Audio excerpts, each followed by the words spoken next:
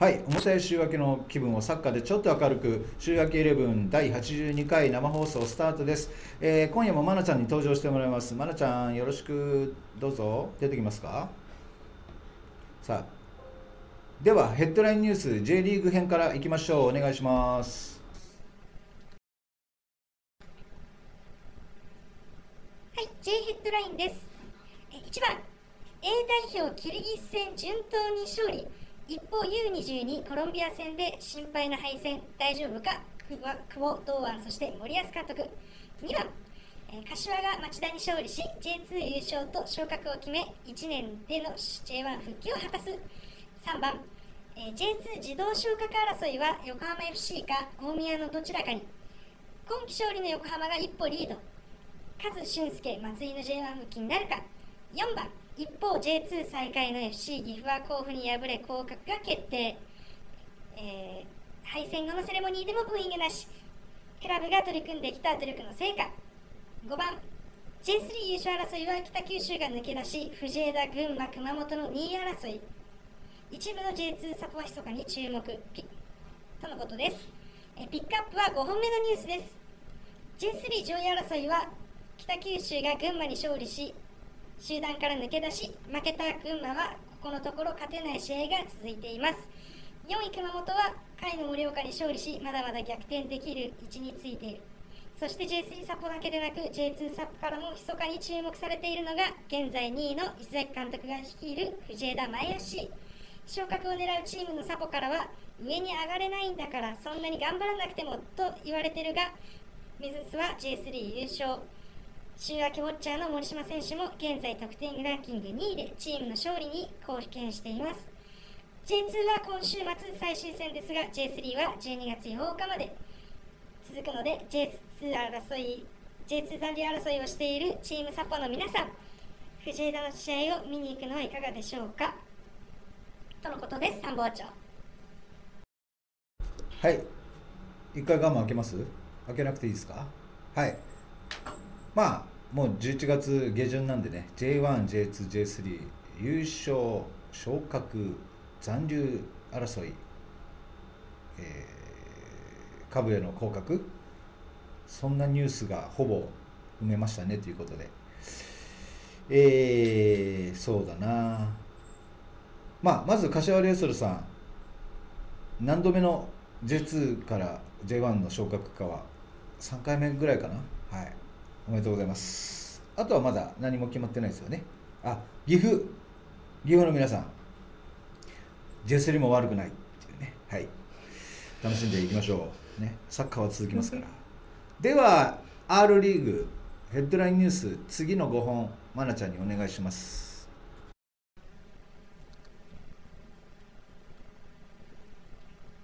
はい、アールトピックスです。え1番、今週末、地域チャンピオンズリーグ決勝ラウンド開催。2番、JFL 武蔵野、観客動員届かず、J3 加入ならず。3番、関東参入戦、草津チャレンジャーズ昇格決定。4番、来年の天皇杯アマチュアシードは、ホンダ FC に。5番、女子リーグ2021年にプロリーグ開始へ。ピックアップは、えー2番の JFL 武蔵野です。ホームページには、えー J3 ライセンス交付を受けてから改めて、えー武蔵野陸上競技場の収容人数の関係上、ホーム最終戦に向けて安全面の確保や消防法などの観点で仮設席設置や他会場での開催を検討しましたが、えー開催の調整がつかく、えーつかず、えー J リーグとも確認の上11月11日月曜日の時点で2020年の J3 入会の可能性が事実上消滅したことになりましたとホームページにあるそうです参謀長ちょっと何言ってか分かんないんですけどはい、まなちゃんの、えー武蔵野の J3 断念ニュースを読んでいただきました。うまく聞き取れているかどうかは大丈夫でしたか？今夜はね。はい。えー、まなちゃん曰く、ちょっと何言ってるか分かんないですけど、という武蔵野クラブへの 公式ホームページへのツッコミがねいいですね。マナちゃん素直にね。そりゃそうだ。分かりづらいですよね。そもそも 消防法ってみたいなね、はい、あ画面上げちゃってください私、はい、消防法ってっていうね、はいえー、それぐらい事前に調べれば分かるんじゃないですかという、はい、ツッコミも入れたくなりますが。うんまあはい。サッカーは続きますので皆さん2020年も引き続き皆さん続けて頑張っていきましょうよとね。反省すべきことは反省していきましょうとね。未来を向いてねやっていきましょうと。ということで R ニュースも終わり。では特集いきます。チャンピオンズリーグ地域 CL1 次ラウンド3回以上3日間行ってまいりました。総力取材の結果全18試合、えー、取材してまいりまして1週間前の第80回放送で1日目主に1日目、えー、木曜日14日の木曜日に特番をやって、えー、主に2日目。そして今夜あ月曜日放送3日目最終日のことをやります、えー、全て5試合残り5試合をやります。日程見ますか？どれですか？日程画面は。あもういきなりいきますね。はい。じゃあ市原と十勝の試合からいきます。これまだ流してないやつなんで。はい。えー、グループリーグは敗退が決まっておりますが敗れ去った者たちがどんな思いで3試合目をやったかを主にダイジェストでご覧ください。お願いします。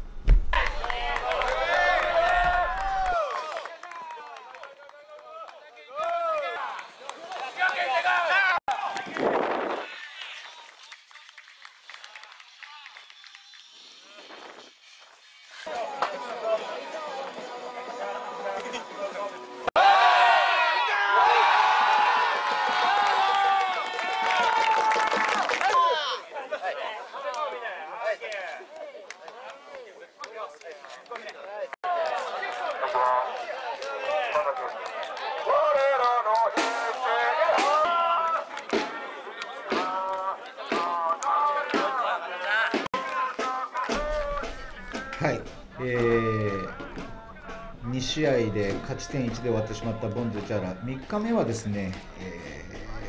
ー、試合に出てなかった1日目2日目出てなかった選手中心に、えー、スタメンを組みました。あまあフラビオ監督の2日目が終わった後のインタビューは特番で見ていただければなと思いますが、えー、こちら十勝は、えー、ほぼ3日連続の選手の方が多かった。こちら私がこの試合注目したディフェンダーの長野選手でございます。さあ、えー、北海道の同リーグの王者十勝対関東リーグ王者ボンズ市原です、えー、ボンズの背番号10番キャプテンマーク巻いております棚橋選手。この日スタメン。今シーズン限りで引退を発表しておりましたのでこの大会前に。このゲームが文字通りラスト現役のラストマッチになります。それでは前半キックオフ。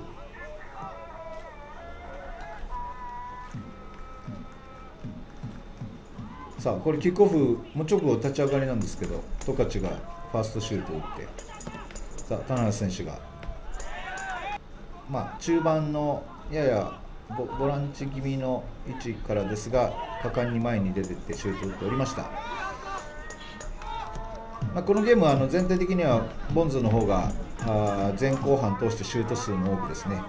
えー、まあ、攻めるボンズ、えー、守る十勝カウンターを狙ってる十勝みたいな試合の構図でした。あこれはビッグチャンスでした。右右崩してのマイナスクロス。弾いたところもう一度フォワード池田コーツ選手がシュート打つんですが枠外。さあこれフォアチェックから取りました。取ってサイドから崩すっていうのはね立て続けに前半何本かありましたよっていう。さあ十勝ロングボールからポストでボールキープしてこれもビッグチャンスっていうね。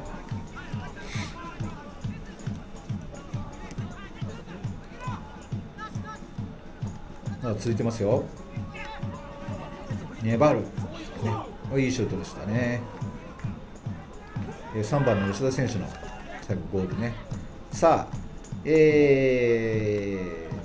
ぼちぼちボンズの先制ゴールシーンから、えー田辺選手が左にさばいて縦パス入れてもう一度戻してこれロングボール一気に前線に入れます。見切れてますが行きました。っていうね。シュートキーパーキャッチミス詰めてゴール、えー前半36分、えー背番号18番杉本選手。先制ゴールです。もうね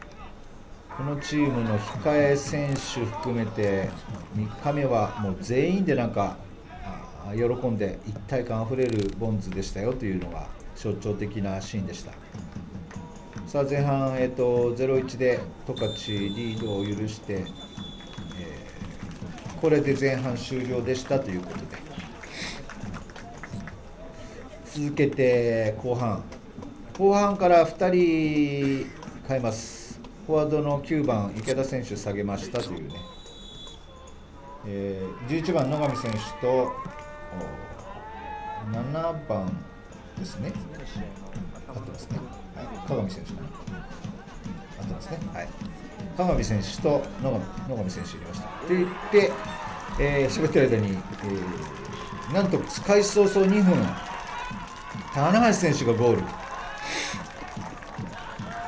このゲームで現役を引退と決めている棚橋選手がゴール決めたことでこの喜びようです。もうテントの中に入っていたベンチ外のメンバーが全員出てくるというね。どれだけ棚橋選手がみんなから愛されてるかっていうのがすごく伝わってきましたね。ねボンズに所属して5シーズン経ちまして、ね、ボンズのファンにも、ね、一番親しまれてきた、ね、10番の選手だと思いますが、えー2-0でボンズリードと。さあ、えー、十勝は1人フォワード7番の黒川選手入れました。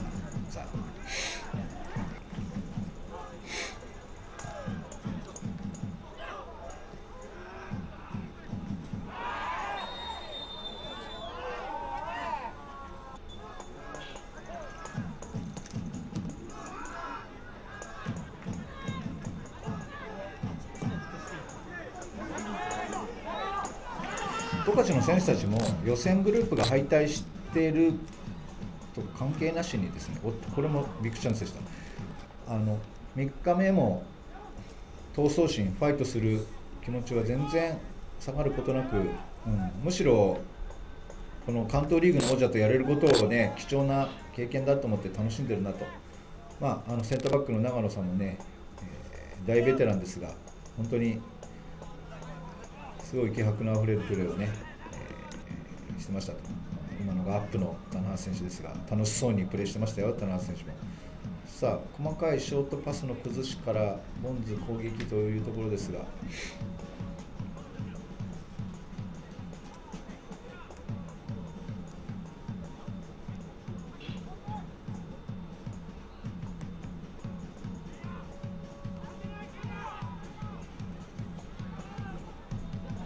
いやこれもビッグチャンス再三あの途中から後半途中から入った斉藤優馬選手がもう再三あの決定機なんですけどね。まあこの試合2-0のままスコアはこれで動かずボンズが、えー2-0で勝利するということなんですがまあもう意地のカウンター攻撃で3日目でね270分間走ってる選手いるんでねやや疲れ気味ですけどなんとか攻め上がってヘディングと。まあ両チームともね何ですかこう決勝ラウンドに進出するかしないかではなくこの目の前の90分をね今シーズン本当に2019年の集大成のゲームですからあのサッカーをできる喜びもこのメンバーでやれるのもねこの日が最後だっていう気持ちで戦ってるんだなとは思いました。ということで試合終了、えー、試合後はねボンズのチームメートがみんな田中選手のところに近寄って抱きついて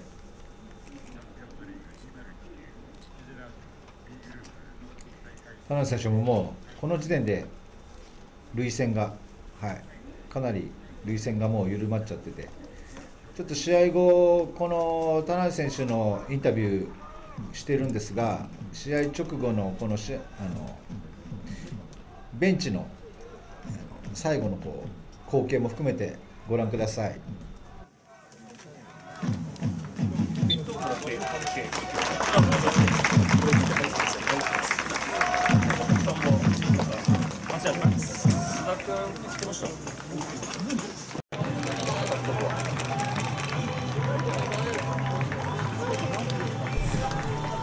フラビオ監督とレナチーニョと十勝の長野さんが談笑してました。来年十勝来いよレナチーニョって誘ってるっぽいなって口だけの動きで上手になりました。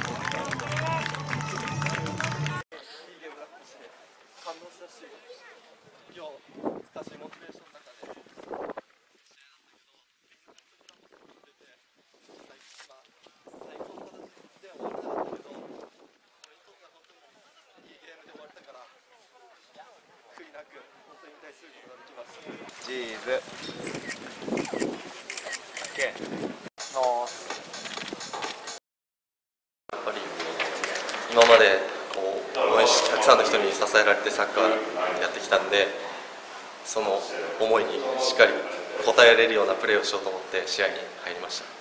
あの初日2日も踏まえてこの3日目の状況がこの最後の試合にいろんな人のためにやはり今日出た選手たちは戦っていたのかなと思います、はい、2日目終わった時点でその亡くなってしまったんで、まあ、選手たちも本当すごい難しいモチベーションの中の試合だったと思うんですけど本当に市原から遠くから応援してくれてる人たちとか、はい、秋田までわざわざ足運んでくれた方もたくさんいたんでやっぱり関東王者としての意地も見せたいと思ってみんなでそういう気持ちで試合に入りました。あの前半先制して後半開始早々花さんゴール決めて、はい、特別な1点ではないですかそうですねもうみんな僕のゴール期待してくれてたんで僕自身もなんとか最後に1点取ってやろうという気持ちだったんで、まあ、ちょっと強引にですけど自分でシュートに行って、まあ、それが結果入ったんで、はい、みんな喜んでくれてよかったです。あの今大会の3試合目にして勝ち点3を取ることになりましたし田中さん個人としても、ね、最後に出た試合で記録に残るわけじゃないですか、はい、本当に最後なんとか自分のやってきたことを出したかったんで、まあ、それがゴールって形でしっかり結果が出たんでよかったなと。思います。まあ出てる選手、控え、今日ベンチ外になった選手もそうですけど、スタンドで見てた人が、現場に来れなかった人にもきっと伝わる1点だったなと思いました。はい、あの田中さんにとって今年のチームもしくはこの 5, 5シーズン過ごしたこのボンズっていうクラブやチームに対して。今思っていることっていうのは何がありますか？いや本当にボンズのチームってみんな仲いいんで、それが今年も本当にいいメンバーがいてスタッフがいてサポーターがいていろんな人に本当支えられて今年もすっごいいいチームが出来上がったなと思います、うんね、結果悔しかったですけど、うん、本当にこのチームでサッカーに来てよかったなと思いますからこの狭き門の12チームの中の2チームだけを行くっていうこの過酷な戦いを何回もチャレンジしてこの独特の難しさっていうのは一一番思うことありますかこの地域チャンピオンズリーグという大会は一体何なんだっていうこと人、まあ、J リーグでやってる感覚とはまたちょっと違う、まあ、ちょっとレベルはやっぱり下がりますけど、はい、本当にみんな人生かけて戦ってて、はい、その思いは本当に上にも負けない選手たちの気持ちがあってそのぶつかり合いっていうのはやっぱ見てる人たちの心にもすっごい響くものなのかなって思います、ね、ここをくぐり抜けて上がるってことはものすごいことをやってるっていうことですよそうですね。やってる僕たちも本当にすごい過酷ですけど厳しいですけどいい経験にもなるのかなっていう。なかなかこんな経験できないなってことは。普段のリーグ戦だけだとこの大会を経験した選手ってどんどんこう成長できるというか、はい、どんどん強くなっていくと。やはりまだまだ自分たちにはやれることがあるということも気づかされるっていう感じの大会なんでしょうか、はい、やっぱどこのクラブもんなものを背負って戦ってるんで、うん、一試合一試合本当に厳しい戦いになるなって感じます。まあ、大大卒かプロになってからの9年間を振り返ってみても今まで在籍したクラブのファンの方もきっと見ると思うんで、はい、何か今思うことがあれば最後に教えてやっぱり自分がこうサッカーできてきたのが本当に小さい頃から教えてもらった指導者の方たちだったり本当に両親に応援されたりでプロの世界に入っていろんなサポーターの方たちに本当支えられて自分がサッカーできてきたことを本当に感謝して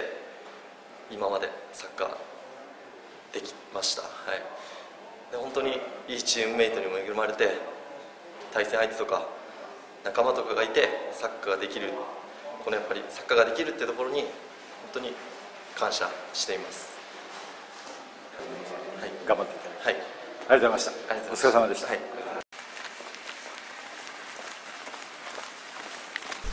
次は十勝の長野選手です。3試合やりきりましたということで、十勝スカイアスの背番号5番。長野さんでございます。はい。長野です。よろしくお願いします。まず今日の試合お疲れ様でした。お疲れ様でした。はい。長野さん感じたこといろいろあると思うので3日間を振り返って一日ごとでもいいんですはい、はい、正直レベルが2年目なんですけども上がってるなと思いました。やっぱどこの、まあ、このグループは特になんですけどもどのチームもしっかりしててしっかりしたスタッフしっかりした組織しっかりした監督がいてやっぱり徹底したサッカーをやってるしうちもやっぱりそれに対抗すべく準備したんですけどもやはりまだまだ足りないし選手層の部分でも個人個人質という意味でも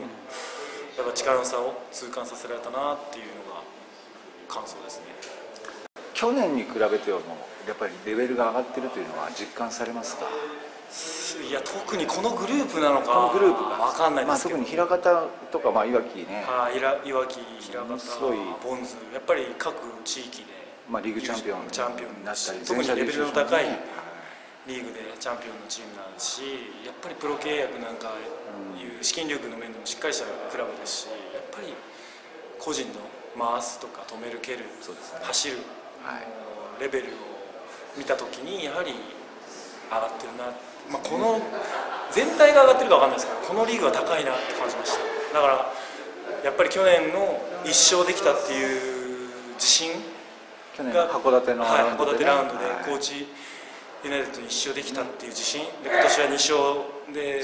決勝ラウンドっていう目標を掲げてやってきたんですけど、うん、やっぱりそこの届きそうで届かないこの差の大きさっていうのを改めて実感しましたね。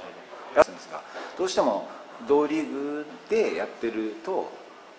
そういう、まあ、枚方のようなチームいわきのような、つまりこう本当に質の高いチームがなかなかおお手合いできないのでそうですね、まさにこの3日間が選手たちにとってもそれを実感するいい機会だと、はい、もちろん勝つためにも来てるけどそういう差を分かり自分たちがいかに何が足りないかを気づくことが大事だと。監督はおっしゃってて、い。やもう僕もその通りだと思います、うん、だからこの今日のこの悔しい経験を来年までそのちょっとレベルの下がる同リーグでも高い意識でですよ、ね、高いその負荷を毎日の練習からかけ続けてイメージし続けないと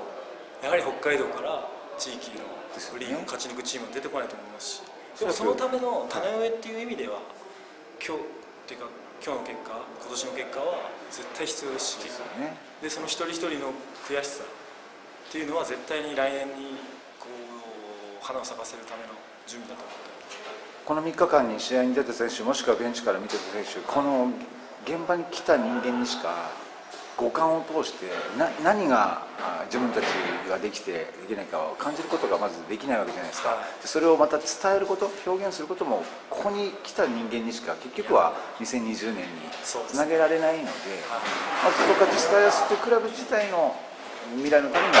絶対必要ですがいやだと思う。はい。十勝がそういうふうに取り組んで練習化してるんだから自分たちも。っていう切磋琢磨がやっと始まって、北海道リーグの全体が上がって、はい。東北や関東や関西リーグのキャップを全体的に埋めるっていうのは多分そういうそういうこう本当本当に大きな意味もあるかなと思って。いや大事だと思います。やっぱり底上げしないと、うん、やっぱり資金力っていう面で関東に遠征関西に遠征っていうのはなかなか現実的に厳しい。今の現状だと難しいですよ問ね題なのでやはり自分たちで道内で車で行ける距離でレベルを上げていくっていうその問題はあると思います。でもこれは本当にその殺大の川端監督だったりとかやっぱり仲良くさせていただいてやっぱり練習試合なんかも密にやったりそうやってこう若い世代が北海道を盛り上げようっていう気持ちで今徐々に徐々にですけど、はい。盛り上がってきてるんでこれはもう本当に藤川のやっぱりエネルギーというか火をつけたはい。おかげだと思ってるんでで僕はやっぱり藤川にタイから呼んでいただいてもう亡くなってしまわれましたけど。ちょっと1年前はいなんですね、僕がやっぱり燃やし続けてもっと大きな炎にしてコンサに次ぐ J のチームを作るために今頑張っている途中なので。だからまあ結果だけ見たら地域いやー東海使い使いやすやっぱりリーグ突破できないねって思うかもしれないですけど、まあ、この会場でスカイアースの試合を見ていただいた方のはい。ひたむきに走る姿だったり、い。3日間負けてても最後まで追いかける姿だったり下手でもやっぱ人の心を動かすことって可能だと思うんで,、でまあ僕ももう37ですし僕にできることっていうのはそういう経験だったりそういう魂の部分をいかに若い選手に伝えたり背中で見せることだと思ってるので、まあ、今回もそういう意味では3日間やり続けれたっていうのは個人的にはまあ満足ですけど結果は全然満足できないですけどね。そうですね。ちょうどあのクラブのあの肩書き的にも当然試合に出てる選手でありながら育成や強化やクラブそうなんですの要はフロント業務という部分も担っているので、はい。えー先ほどの言葉の意味がそういう意味もこまこもってますよね。やはり藤川さんが作った、ね、クラブの意思を引き継いで自分がっていうのははい。ただあのトップチームのその90分のゲームだけのことをおっしゃってるわけじゃないので。そうなんですよ。だからまあ僕は本当元プロとかそんなにそんなプライドなんてないんでどこにでも頭下げるし誰にでもお願いしていくつもりなんでそうやってスカイアスっていう全国のみんなが少しでも知ってはい。応援してくれればそれだけでも盛り上がると思うんで。まあそういう使命っていうものがやっぱ僕を走り続けさせてくれるんだなって思ってるはい以上が、えーボンズ対十勝の試合後のお二人のお話でした。あそれぞれの男たちが思いを語っておりました。さあ次金沢のラウンドの、えー午前中の試合いきましょう。刈谷対沖縄の、えーここは沖縄が勝たないと勝ち点6になれないという重要な1試合目でございました。特にワイルドカードも含めてこのグループ A が重要でしたという意味で1試合目見ましょう。どうぞ動画スタート。えーこちら現地取材してましたりょうくんも一緒に喋ります。よろしく。はい、えーこの試合、刈谷は勝てば無条件で、えー、J ビレーキが決まるっていう試合です。ワイルドカードかもしれなはいい、けど、ワイルドカードが1位か、はい。昨日ね前日大敗してね。沖縄は前日6失点。6失点してねどうですかこのゲーム？はいまあ、あの前半は、ほとんど刈谷が攻めます。あの最初から最後まで結構刈谷が攻めるシーンが続くので、それをまず前半はこんな感じの結構惜しいシーンするんでただ徐々に沖縄もペースを取り戻してきてし結構シュートが打てるようになってくるんですよね。この日も田原選手は先発でフォワードですね。フォワードなんですけど中盤ですかもうほぼもう後ろから2列目ぐらいまで下がって守備したりとか、もう10人全員で守るっていう感あワントップも残らないぐらいに。ね、じ、全員で守るって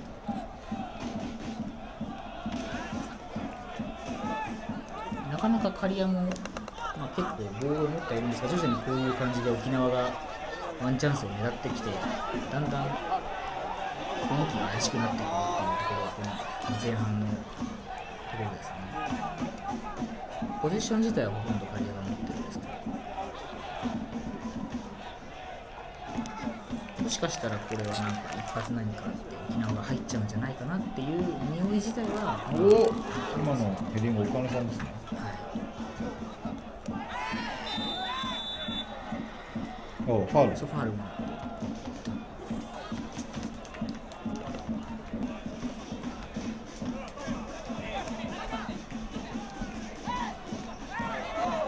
またファウルか？ファウルだね。刈谷もやっぱり1点先に欲しいのでだんだん焦りが出てきてファウルで止めるシーンが増えてきちゃうんですよね。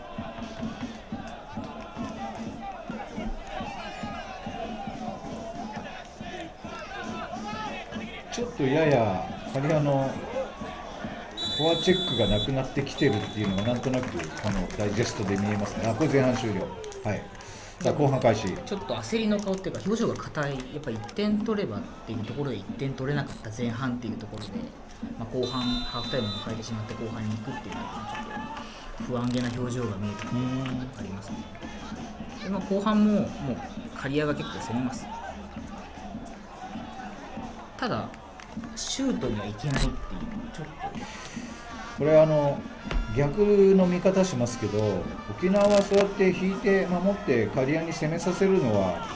上等だと思ってやったんじゃないですか。とそうです。あの後のインタビューでもそういうことじゃない喋ってくれますが。で攻め疲れというか、はい。全然ねまあがっちり守ってるから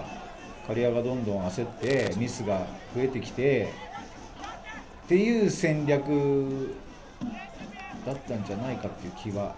そうですおっと惜しい。こういうのが入らないとだんだん怪しくなっていくっていうところでもうずっと攻めてます刈谷。でもこうもうこの粘りですね。沖縄のディフェンダー陣さ、まあ、守備全員で守ってるわけですごい集中力切れてないじゃない。はい。なんかずっとこうちゃんとどこが危険なところで寄せるかっていうのはあこれは危ないとんでもなこれいピンチ逆に。はなるサイド振ったら危ないけどあシュートこれちょっとファウル。あフルファウルだから、うん、本当に要所ピンチになる前の目っていうのを積むところはおっと遠目からね打つっていうでそう粘ってるうちにやっぱりワンチャンスっていうのが来ちゃうんですよ。これでコーナーキック。でこの後もう一回コーナーキックあってその次のコーナーキックですね。これ2本目？これはい。あこれが1本目？2本連続であ2本連続。の2本目です。二本目の拾った球。をヘディングをするこういうのが入っちゃうんです誰よ。アキさん。えー、あアキ選手そう。2試合連続で。素晴らしい。元ボンズ。はい。ある意味地域 CL の経験豊富な。このチームで一番地域 CL を知っている選手です。待望の1点だっていうか刈谷まずいなこれって、いう感じだなもう恐れてたことがシミュレーションじゃないか起きてしまった。これシミュレーションになっちゃうんですね。シミュレーションはい。2個目がシミュレーションです。ルアン出てるほらそうルアンを投入するんですけど、わなかなかかるけどねわかる今のはわかるよでももう焦りですよ。うんとにかく。そうそうで引き分けでもダメなんで、そうもう2点取りに行かなきゃいけない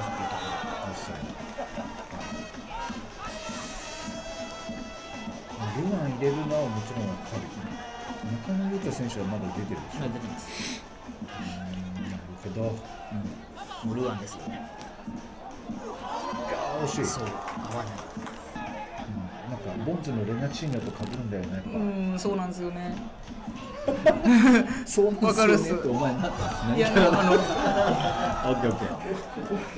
思ったそれは。わかるわかるいやー負けたんだ。これだけ攻めたけど1点も取れなかったっていうところ、もう影敗退じゃん沖縄はしてやったり沖縄が2試合目待ちの勝ち点6でワイルドカード待ちだぞで終わったっていうね、でこれすぐ始まりますかコメント。ちょっと刈谷の挨拶があじゃあそれ聞いてはから。はい、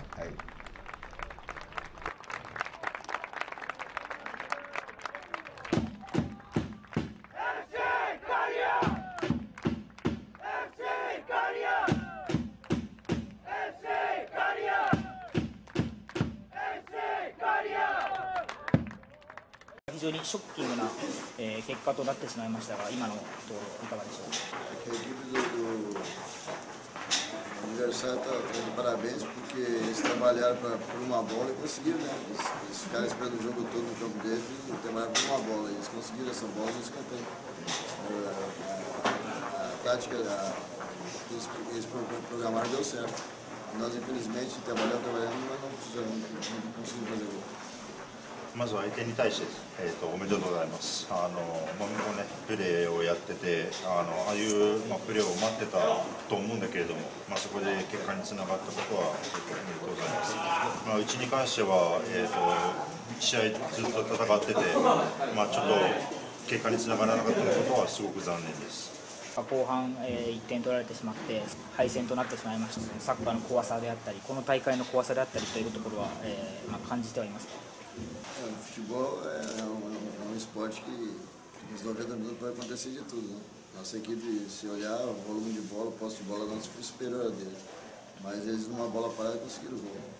まあえーそうですねまあ、サッカーというのは90分の中で何が起こるかやっぱり分からないあのスポーツですので、まあ、多分試合全体で見ればボリューム的に見ると、まあ、自分たちボール握ってた回数、まあ、時間も多かったけれども、まあ、その1回あったチャンスを、まあ、ものしちゃものにしちゃったのはやっぱり事実なんで向こうが。まあこの1年間振り返って、えーいかがでした Foi um bom, né? Que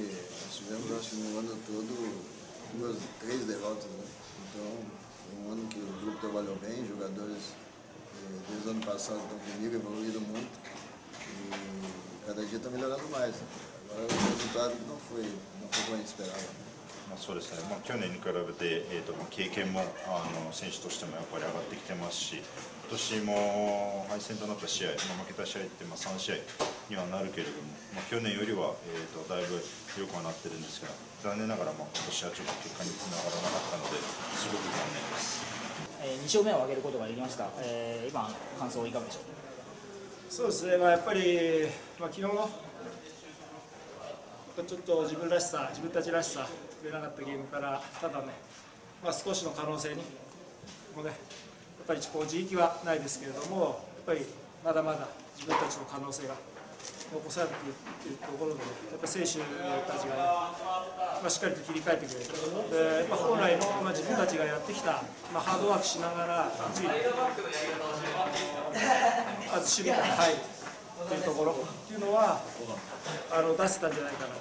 思います。昨日6失点してしまった守備陣も今日は無失点に抑えることができている完封勝利ってありました、えーそこについてはいかがでしょうそうですね、まあ、基本的に、まあ、持たれるっていうのはもうしょうがないかなと割り切って、あのたんですけどねただやっぱ本来であれば自分たちのねそのいるべき選手っていうのが当然まあいない中でやっぱりそこの引っ掛けた後のやっぱカウンターの迫力っていう意味ではどうしてもやっぱ今チームとして、あの物足りなさっていうのはどうしても出てしまうっていうところはもうここはもうある程度受け入れて戦うしかないなと思ってたのでだからまあその中でじゃあいかにやっぱ相手をゼロに抑えてそのチャンスをものにするのかでセットプレーに関してはあの自分たちはもう非常に自信も持ってたし必ずあのセットプレーから一つ絶対取れる自信があのあったので、うん、とにかくまあ我慢すること。で我慢強くやっぱり相手がいじれるような、えー我慢してやっぱりディフェンスをあのすること。でその中でやっぱりちょっと昨日までの2試合と、まあ、少し変えたところは、まあ、少し自分が1.5列目の位置だったりとか2列目まで入る中でやっぱりこのセカンドボールのところところを自分がもう徹底してもう拾ってやろうっていう思ってたので、うん、まあちょっとそこは狙い通りやれたかなと。最大限に近いことができたという形そうですね。だからやはりやっぱりそのなかなかこう今まで試合でいなかった選手がやっぱりいかに普段からしっかりとトレーニングをしてきたかっていうところっていうのがまあ今日出たんじゃないかなと、うん。まあ、それに尽きるかなと。やっぱまだ今4年目のチームでやっぱここから少しずつその厚みを増していく中でやっぱこういう戦いをしたっていうのは、まあ、まあこの次の試合の結果に自分たちよりますけれども、まあ、どんな結果になっても、まあ、このクラブにとっては非常に大きな戦い方だったんじゃないかなと思います。まあ3試合通じてチームがせその成長していったりとかっていう、まあ、感じました。そうですね、やっぱりこの3試合っていうところが、まあ、非常に厳しい、一番厳しいんじゃないかなっていうところの中で、やっぱりこの難しさ、やっぱり自分たちはまあ初めて経験しましたけど、やっぱこの3試合で、やっぱこのリーグを、えー勝ち抜く、その戦い方っていうところが、うんまあ、足りなかったと、その戦えるだけの力っていうのはあったけれども、やっぱそれを十分に引き出してやれなかったところ、まあ、そこはちょっと自分の監督としての、まあ、悔やまれるところかなと思いますけれども、まあ、しょうがないですね。今の時点で、えー選手たちにはどのような言葉をかけましたか？いやもうとにかく昨日のゲームからよくそのまず気持ちを切り替えて、あの自分たちのやるべきことっていうのをしっかり整備してあの最後までよく戦ってくれたと、あの今年1年、えー一緒に戦ってきてくれて、まあ、ありがとうという、まあ、そういう感謝の気持ちを伝えました。秋選手、昨日についてゴール決めましたけども、チームの中でパターンみたいなものがあったんでしょうか？あもうあります、もうお金、秋、俺っていうのが、もうこの3枚が必ず点を取れるっていう自信がセットプレーではあるので、相手がどんなに自分たちのやり方を分かってようが、絶対に決めれる自信っていうのはあったので、うん相手がどんなにケアしてようが、もう絶対に決める自信は、あの俺らの3人の中であのあったので、まあそこはあのこの1年通して、ぱりそのセットプレーによって勝ち切ってきたゲームっていうのがたくさんあったので、まあ、自分たちらしいかなと思います。高原監督からもあの練習していたことはできたというあのお話があったんですが、まあ、そうですね、まあ、あのセットプレーもリーグ戦でも、えー取ってきましたし、一つの強みであるんで、セットプレーから、えー昨日も今日も点取れたのが大きいです。なかなか九州リーグではボール持たれることがないんで、すごいそういった戦い方に慣れてないというか、そういう経験のなさが昨日出てしまったんですけど、まあそこでもう一回立ち直あの監督はじめはじめに多分、立ち直ることができたんじゃないかと思います。この、3試合、えー振り返ってみて、今大会いかがでした？かまあ、こういうこの大会に出る選手が、えーはじ初めての選手が結構多かったので、3つのうちの2つが勝ってたってことは、今のチーム、クラブにとって、まあ、すごいいい経験にもなりましたし、一番やっぱり怪我人と、怪我人などがすごい多い中で、えー普段全然出場機会がなかった選手が正直、あの昨日もですけど、今日もよく頑張ってくれたというか、よく頑張ってくれたので、まあ、そこもすごい一番の収穫やったんじゃないかなと思うので、まあ、どうなるか分かんないですけど、来季もすごいいいチームできるんじゃないかなと思います。地域シェアと違うものっていうのはありますか？昨日みたいに結構フィジカルを前面に押し出してスペースに蹴り込んでくるようなああいうサッカーをする相手となかなかリーグ戦でも当たることないんで、まあ前者でも今年は鈴木京子さんとやらせてもらいましたけどやっぱり同じようなやられ方してるんでやっぱりそこは、えー何回も今年2回やられてるんでそれ相手に、まあ、そういう部分では改善戦い方も含めて改善するべきはすごい見えてきたとは思います。はい。以上1試合目です。さあ続けてみましょう。2試合目。福井ユナイテッド対 FC 徳島です。動画スタート。お願いします。1試合目を踏まえてりょうくん福井も、えー、刈谷と同じく勝てば、えー J ビレ時期が決まるっていうところですね。ただ前の試合刈谷がああいう負け方をしたのでちょっと福井の方にはちょっと嫌な雰囲気っていうか怖い雰囲気、まあ、気を引き締める雰囲気午前中の試合をね、両チーム福井の選手も見ているからね。目の前で刈谷の涙見てでちょうどロッカールームが隣なんですよ左側で。なるほど。おいっぱい来てるね。すごかったですよ。やっぱり金沢近いから、本当地元っていう感じで。うん去年の国体の時より多かったんじゃないですか今日来てる人よなんか FC カリアっぽい集合写真の書き終わりをやってるのあのー徳島やってるのは徳島のあの1試合目2試合目出てたキーパーの荻野選手3試合目はサブだった明るくね、まあ、あの徳島の方は2試合で敗退がはい。決まっちゃってるんだよね、で徳島はちょっと、まあ、メンバーを変えてというか金沢に来たら全員、まあ、出ようという感じそう福井君前半立ち上がりですかもしかしてそうですねはいとにかく早い時間帯に点取らないといけないなっていうところはあったと思うのでもう最初からフルスロットそこ。で福井は前の押し込まれてんね。前の試合6点沖縄に取ってます前日、いやーおしゃれ、あのー福井ユナイテッドこの金沢ラウンド1日目2日目もダイジェスト見てさあとこのチャンスか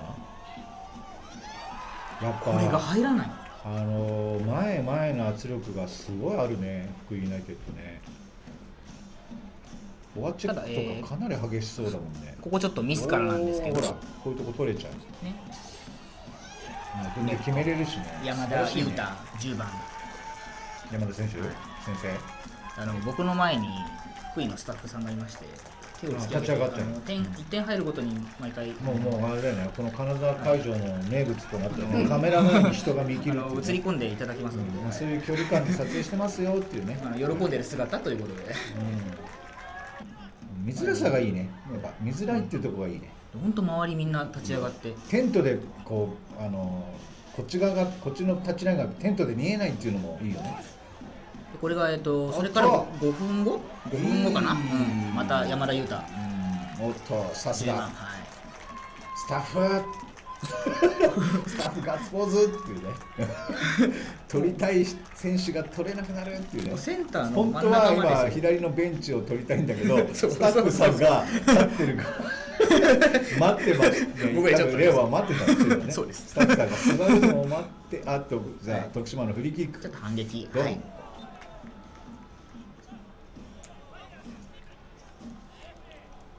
おしゃれ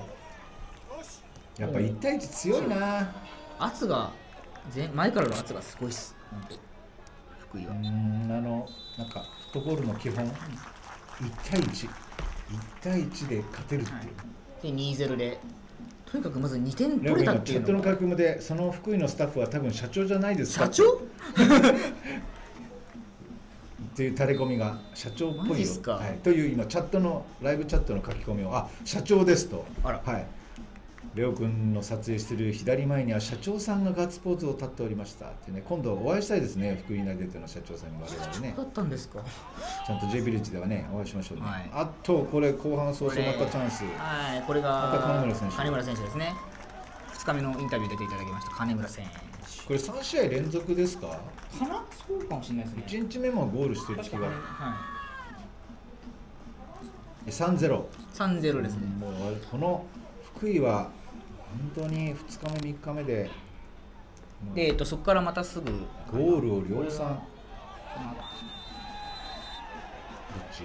どっちのこれ、えー、福井のファールで徳島のチャンスが来ますおっがとなかなかユニークなグラウンダー。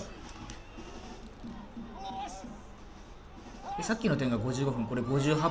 3分後ですね。山田裕太ハットトリックでございます。3点目、これ4対0まあ、今の今のシーンだけだとね中盤が戻ってこれてないからバイタルのところはもうねドフリーで前見てシュ前向いてシュート打ってるからね。それ入りますねって。いうねまあ、余計徳島が、あー寄せてない前がかりになったところ。これまた2分後なんで3分後2分後でもう5分ちょっとで3点入った感じですね。福井ユナイテッド強えな。これ変わった本はい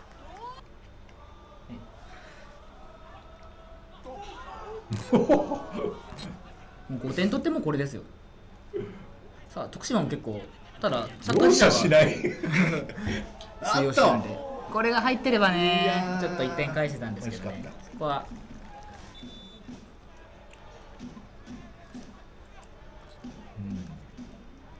うん。うん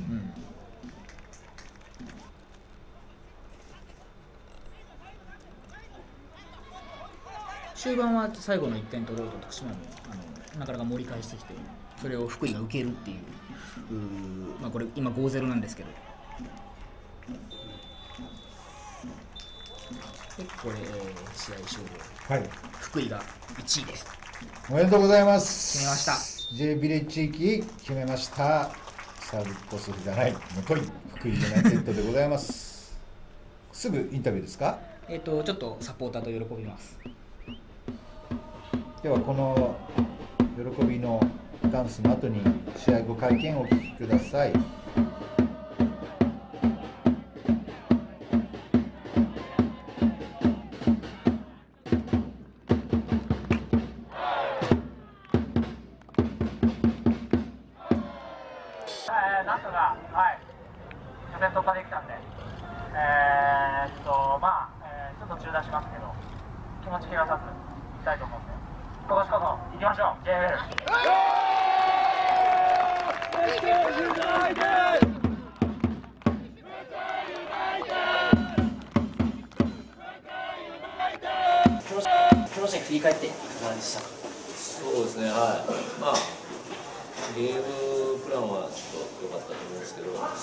最後のあの、あまあ、選手を経験させることでね、あの全員使ったんですけど、まあ、それでちょっと怪我して、最後バタバタしてしまい、ゲーム壊しちゃったなっていう、まあ、自分の責任かなと思ってます。決勝の後に向けてなんかサポーターとみんな皆様にメッセージありましたらお願いします。そうですね、あの本当、地元でなかなかこういう機会得られなかったですけど、まあ、地元のサポーターやファンの方々に見てもらう大事な試合だったので、その中で結果を出して、本当、良かったなと思います。うん、新たにの自分たちの戦い方がこういう戦い方するんだよっていうところを見ていただいただけでも、あの一つ選手の人たちに、えー来ていただいた方に、本当感謝して、ますので、あの応援またよろしくお願いします。朝の試合で、えー、刈谷がちょっと負けたっていうところで、まあ、同じ条件だった福井の第2試合を迎えるにあたって、そこはね、ちょっと気を引き締めるとかっていうのはあったりはしましたそうですね、まあ、何が起こるか分からないのも地決の大会なので、はいうんまあ、自分たちもそれ起こりうるあの試合だだなと思ってたので、うんまあ、昨日からちょっと想定して、まだ決まったわけじゃないんで、っていうところは選手に伝えながら、本当に厳しい、試合が下回ってるんだよっていう形で、まあ、今日頑張ってもらえたなと思いますけど、はい、特に決勝ラウンドについて、意気込みで気持ちとしてはどういった気持ちでしょうか予選は引き分けで上がれましたけど、あのーやっぱり勝たないと見えてこないと思うので、もう本当に全力を注ぐつもりで予選を迎えたいと思います。来るのが簡単にえっと京都は昨年の予選、地区挑戦でやってるん。で、まあ、まあ、フィジカルで落ちてくるっていう印象です。あのこの3試合通していかがでしたか？そうですね、まあ、やっぱり力になりましたし、非常に僕たちがホームで環境を作っていくことが、えーやりやすかった。と思い。ます。決勝ラウンドの決勝おめでとうござい。ます。今お気持ちはい。かがですかまあ、そうですね、初戦、落ちたところから、まあ、しっかり上がったっていうのは、えーチームとして感じてまあ、去年、初戦負けたりとか、あーその前回だけは負けたりとかしたので、まあ、初戦大事にしていきたいと思って、そのためにやっぱりチームとして1点目が非常に大事だと思うので、まあ、みんなで取っていけたらなと思います。今日の試合振り返ってみて率直にいかがでしょうか？そうですね、僕らはもう、えー、と勝って、えーとまあ、爪痕を残すというか、えー、と出るだけが目標じゃないように、えー、と必ず勝ち点3を取って、えー、と徳島に帰ろうということをみんなで時間となって、えー、プレーした結果、やっぱり、えー、と点を取って勝つということに、えーまあ、専念した結果、前がかりになりすぎて、えー、と失点を重ねてしまったということが敗因の一一部なんじゃないかなと思います。はい初めてのこう地域シールということであの手応えの方は 3,、えー、と3試合全部通していかがでしたか？えーっとまあ通用したところ通用しなかったところっていうのは明確にもう分かっているつもりなので、えーとまた新たに、えーっと気持ちを切り替えて、えーまあ、またこの場所に戻って、えーチームとして JFL 昇格という目標を掲げている以上は、えーっと一から、えーっとやり直す必要があるんじゃないかなと。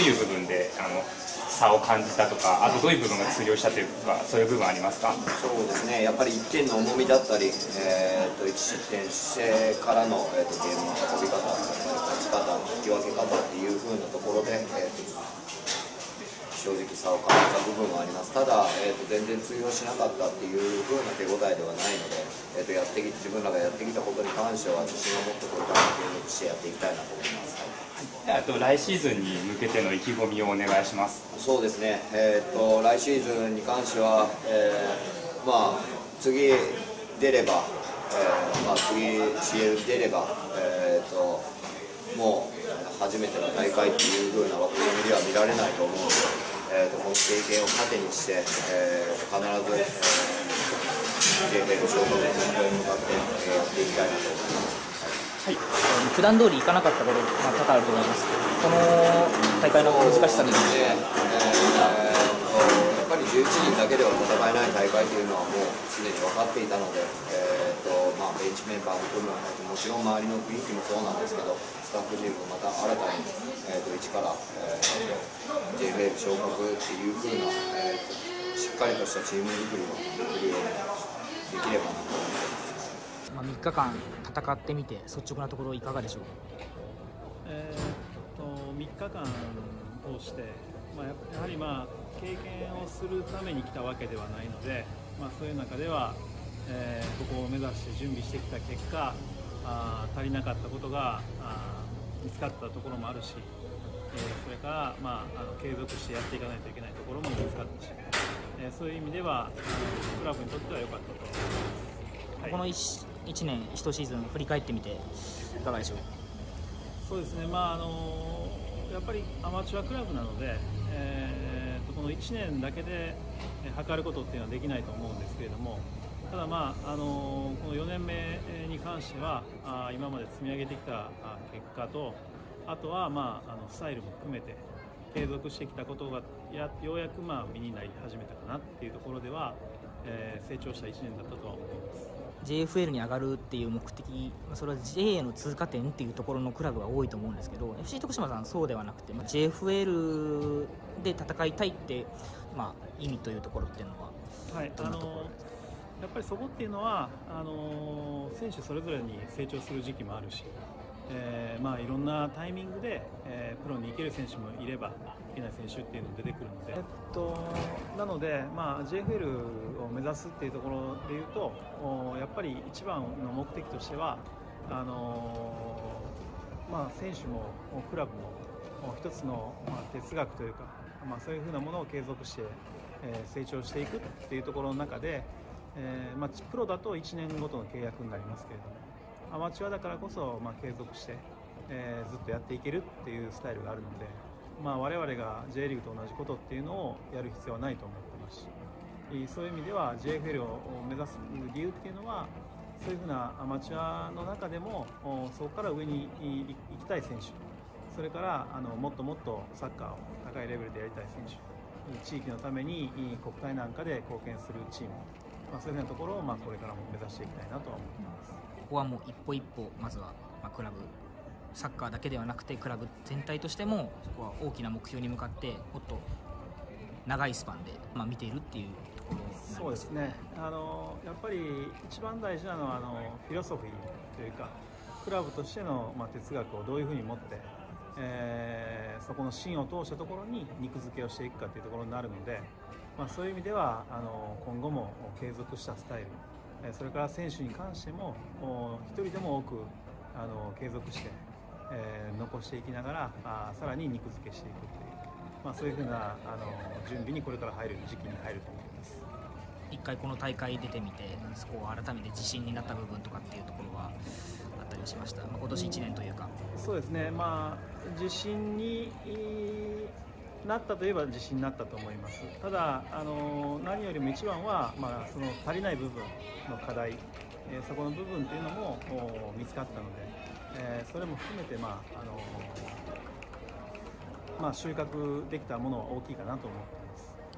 あ来年もまた四国リーグで戦うっていうところになるんですけども、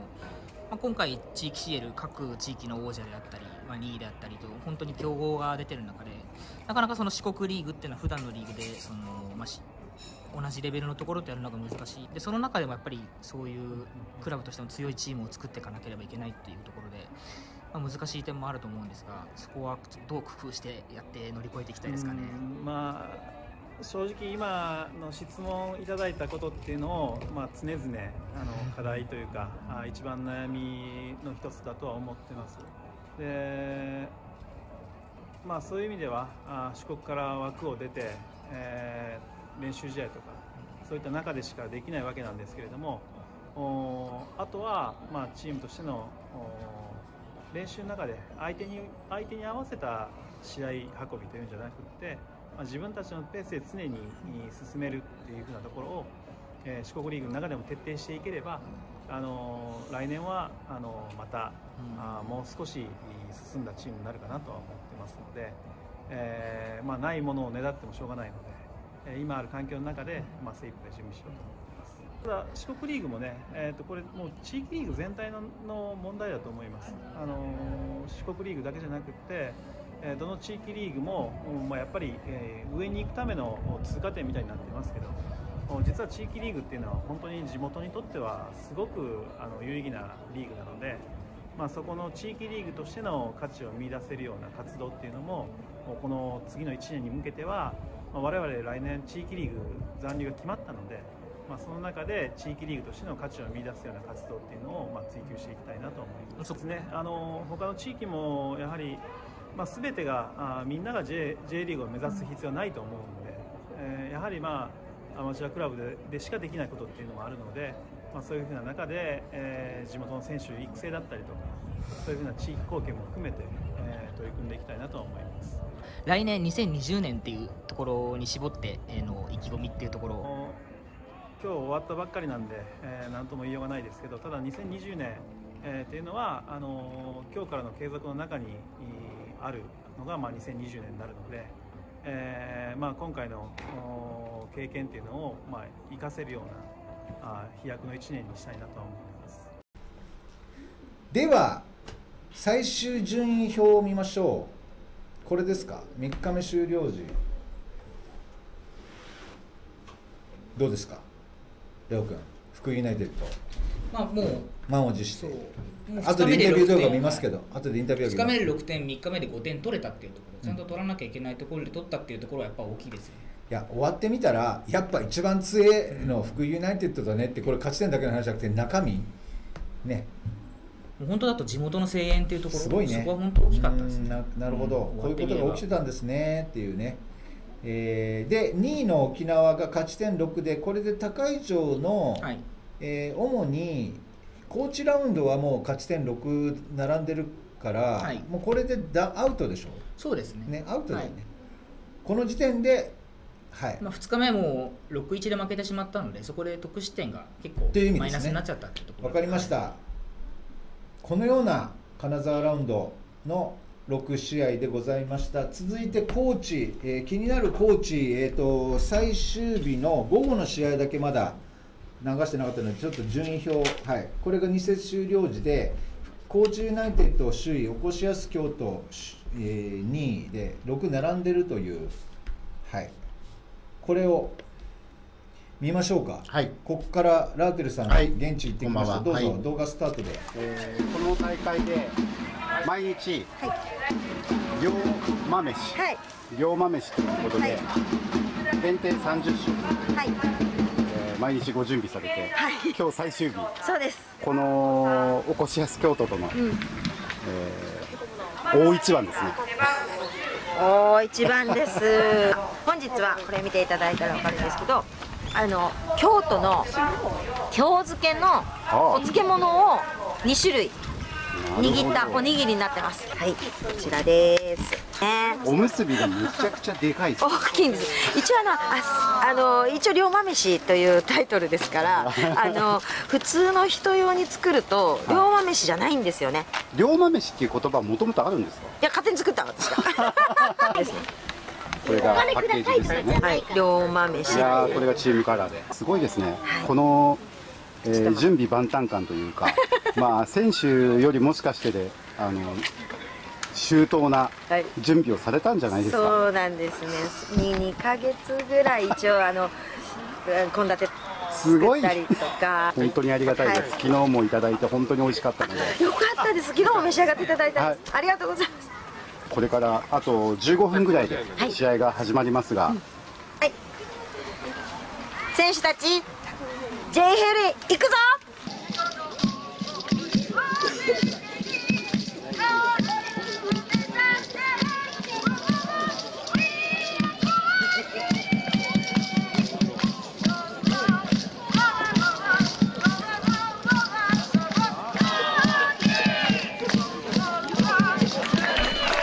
はいはい。さあなんかオープニングからして凝ってましたね。というかもうこのコーチの人たちがこの試合をすごい楽しみにしているのが感じられたんですよね、さあ勝った方が首位突破。そうですそうです。ただ、まあ京都対はい。高知ユナイテまあ、条件的に言うとコーチは得失点で優勢なのであの起こしやすは勝ちたい。何としても勝ちたい。あそうかそうか。ん引き分けだとダメなんですね。引き分けでも得失点差だよね。はい、そうですはいそうです、というゲームですね前者準優勝準優勝。鹿児島では準優勝したただねこの日のね今のはエリック・クミですか？それともイブラヒム？えー、とイブラヒムだと思いますけど。イブちゃん。いやこの試合のねうイブちゃんクミちゃんでいきましょう。はい、今大会。イブちゃんクミちゃん。めちゃめちゃ勢いがあって。本当に3日目なのこの試合はイブちゃんが先発で。えっ、とイブちゃんですね。クミちゃんはベンチで。イブサバン。イブイサバン。ブサバンが先発。はいいやはいすみません遮っちゃったどうぞ。いやいや。なんかねこんなに強い起こしやす京都を3日目に見れるんだと思いました、モチベーションってやつですね、うん。とにかくこう前へこれもコーチは攻めるんですけどこう取ってドーンとこもうこれなんですよ。これ。この形。まあこれですよね。この形です。前にそれを拾えるはい。まあ、ここはリパールになっちゃったけど、はい。まあ、これを繰り返すわけですよこれこれですね。裏に？でまた中にイブちゃん走ってドまーンと。ああの吉田監督がやってきてる、徹底してるのはもうゴールに直結する勝ち点3っていうただそれだっていうね。そうですね。まあ、本当にやってることはシンプルなんですけど、ていうかあのある程度無理できるよねっていうね。そうそうそう。今みたいに追いつけるもんねっていうねイブちゃん。今のイブちゃんですよねただそれをもう本当に出し惜しみせずにこの試合に出したんで、そういう選手が揃ってるっていう、ある種特色ですからね。使わなかったら宝の持ち腐れですから。いや早いな、イブちゃん。本当にね割り切ってね戦ってたと思うんで、本当強かっただってさ、守ってる側のコーチの日本人選手からしてもさ、こんなガーナ人ってやったことないよみたいなさ、対策どころじゃねえよみたいな。だからね、一応スリーいつも3バックなんですけど、5バックでした。なるほどコーチはさあ、後半。まあ、こうやって気合を入れて。今何これ何対何？ゼロゼロなんですね。まだゼロゼロあってことはコーチユナイテッドの方がリードあの有利な状況で有利な状況です。後半スタートなんですね。あここしある意味で追い詰められている状況です。まあ、ワイルドカードにっていう目もありますがというね、あまりそれ考えるとよくないよねっていう、そうそうそう監督のことですから、一撃必殺、あんまりそこでのアドバンテージは五社さんないんですね。まあこれ、コーチが仮にね、これ先1点入れようもんならすごいなっていうね。変なことになるんですけど、おっとこれがね、これがこのミスキックがこれがハンドですね。あまた当たった。ハンド。頭を頭を押さえてるけどハンドです。あれ今のは何カード出てないんですか？出なかったです。そしてこれで入る。うまいこれで入りますよまた。山本選手出た。恒例の石田監督も一緒にジャンプしてジョホーバル走り。今大会2回目。ジョホーバル走り先週の、ね、特番でも言いましたね、でここで本当にすぐ2点目を取る。2点目取りましたここで。執念が、まあ、今度は石田さん。あいやいや今度はこの人です。抜群の跳躍力。140メーター面白い。でここで2点取られてコーチの選手たちがこうピッチ上でこうエンジン組んでるんですけど多分これ負けても大丈夫だって分かってるんですよ選手たちは。大差で負けなければだから沖縄のね、はい、だからこのまま俺たちのやり方をやろうぜって。秋田のね秋田の試合経過ね。そう。あの枚方対いわきの試合経過も入ってるからね、はい、ああなるほど。だからこのままそう。あのー、あでこれはえっ、とラインを割ってたみたいなるほど。はい、それで3点目にならなかったんですけど、はい、蹴る前にコーチは戦いじゃあこの方を0-2でもまんまでええんやでみたいなそう。いい,、いいと。だから無理に形変えないようにしようと多分言ったんだと思うんですよ、コーチの選手たち。取りに行って逆襲食らって3失点4失点しないようにしようと、この辺の攻撃の形はやっぱコーチの良さが出てるところで。今のはなんか面白いアウトアウトサイドね。スピンがミスなのかちょっと分かんないですけどでこういうふうにしてこうしっかりねビルドアップして作っていくっていうのがやっぱりコーチに一人でいけますね。でここ向こうからも上がっていてうん。と欲しいでちゃんともう一回来てサポートしてもう一回作るとこういうことですね。でまあ取られちゃうこれ本当にアディショナルタイム。あもうこれではい、2-0京都リードのまま、ここで終わりです。いやーなるほど。激闘激を闘でし制してたけどね、残しやす京都がこれで3連勝、ただやっぱりコーチの人たちは本当にコーチがゴールするところ見たかったと思うから本当残念がってました、うん。でもいい試合でした。出し切ってたと思うんです。けど、まあ、得失点などを考えると、まあ、コーチさんの方がまあ有利っていうのは分かってたんですけどもともと勝利しか考えていなかったので、あのーしっかり自分たちのプレーして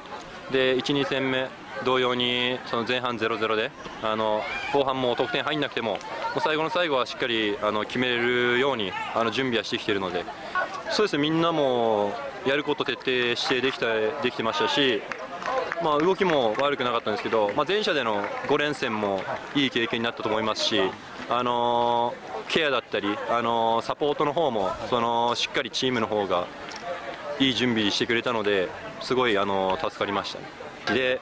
前者と違ってその45分で10分伸びるだけでもやっぱりちょっと足に来たりちょっとツール選手も出てきたりしたんでで累積でもたまんなかったんで、1人も、それも、あのいい部分だと思いますし、怪我人も、まあ、1人キーパーが昨日ちょっと体調不良ってなって、まあ、それまだどうなるか分かんないですけど、まあ、そういう人たちの分もあのみんなで戦おうっていうふうに、これからもまたやっていきたいんで、頑張りたいと思います。そうですね一回高知から京都戻るので、その戻りの時間だけ一旦ほっとして、またあの起きたら切り替えてやっていきたいと思います。そうですね、まあ、本当にこう一人一人があのチームのやり方をしっかりと認識した中で自立したプレーができてたんじゃないかなというのは今まで以上の、ものは見て感じ取れたな。だから今回の試合に関してはあの修正の声をかけるのはそこまで多くなかったかなというふうには感じています。ももちろん細かいところではあるんですけど大きな戦術変更っていうところを提示する必要がない形で選手たちが自分たちで動いてくれるだなという印象です、ね。まあ、その当然個人の強みがある中でえーやはりそのできることとできないことっていうのが当然あってで、まあ、理想を追っていくと全部をいいとこ取りしたくなる気持ちも当然ありますしそのシーズンが経過していく中でやはりあれもこれもやりたいっていう気持ちとの戦いも一部スタッフ内でもありますし選手たちも多分あったと思います。ただ、やはり今年の最大の目的っていうのは、目標っていうのは、もう JFL に昇格することであって、勝つための一番のベストな人選、戦術っていうことにとにかく意識をしている、で勝つためだったら、どんなやり方でも辞さないっていう覚悟を持って、試合には取り組んでいるので、もちろんシステム変更もするしますし、人の突然の配置も配置変換も当然ありますけど、それが少しずつこうチームの中で当たり前になってきてるのかなというのは感じます。まあ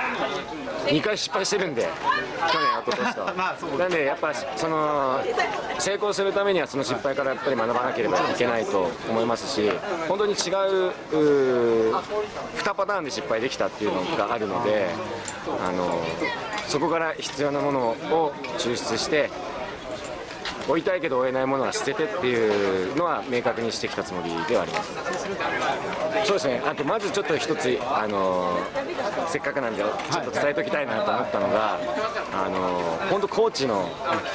方々というかあの僕らが宿舎でお世話になったホテルオリエントホテルコーチさんとかあと温泉の春の皆さんとかあとまあ選手の負傷であったりとか病院にかかったりとかしはししたんですけどやっぱ本当どこの施設のどこどの方と接していても本当にこう親切で温かくて。当然ね、今日もコーチさんと対戦するっていうのを認識されている中でも、本当に頑張ってくださいだったりとか、すごくいつどこで誰と話してもそういう対応なんだなっていうので、とても感謝の気持ちがやっぱ生まれましたね、あのコーチラウンドに来れたことで、コーチの方々と関われたことっていうのは、すごく嬉しく思いますし、あのすごくコーチが好きになりました。で、まあ、僕あの徳島に5年いたんで、四国徳島もすごく大好きなんですけど、まあ、コーチもまたあのすごく大好きになりました。そういった意味で自分たちがやっぱりこういうう空気感作りとか、あの学ばなきゃいけないところっていうのはたくさんあるなと。でまあ、これから実際に我々の大きな課題として集客っていうところもお残っているので。これだけ多くの方々がこの春野に来てくださって本当に自分ごとで自分ごとで応援している、まあ、サポーターの方たちももちろんそうですけどメインスタンドにいる方もほとんどがもうギャーギャー言いながら応援してくれてるっていうのを、ピッチ上でも感じていらっしゃいましたか？はい、常に声は本当に聞こえてきましたしあの苦しい状況とか、え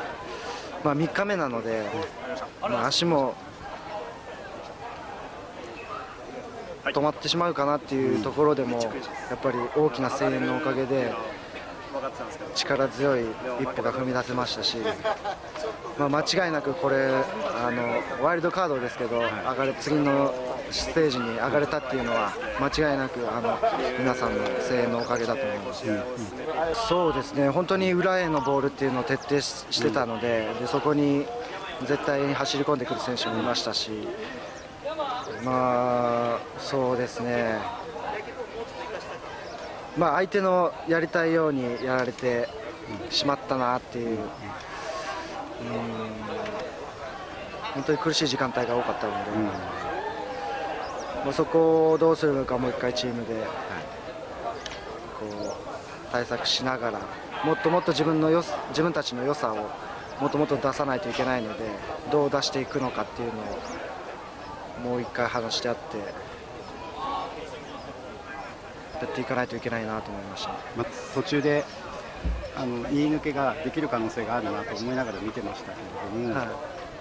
うんちょっと正直ほっとしました。なんか今日これでコーチが解体してはいけないって思ったんですよね、なんかこの会場の雰囲気を見て、うん、もうこの高知会場で地域チャンピオンズリーグの予選ラウンドが行われるっていうことは、まあ、ほぼないじゃないですか。そうですねこれが毎年行われるんであれば別だけれども、いや高知は持ってると、うん、そういう一つは、えー、我々はまだ予選を通過したことがなくてで、えー、本当にこうみんなで挑戦しようと、はい、えー、3連戦をしっかり勝利して決勝トーナメントに行こうと。まあ、そういう、まあ、目標を、まず最低限の目標はあのしっかりこう達成できたっていうところで、まあ、やっぱり1日目、2日目の,、ね、あのところが、まあ、良かったのかなというふうに思ってます。はいうんそうですね、まああの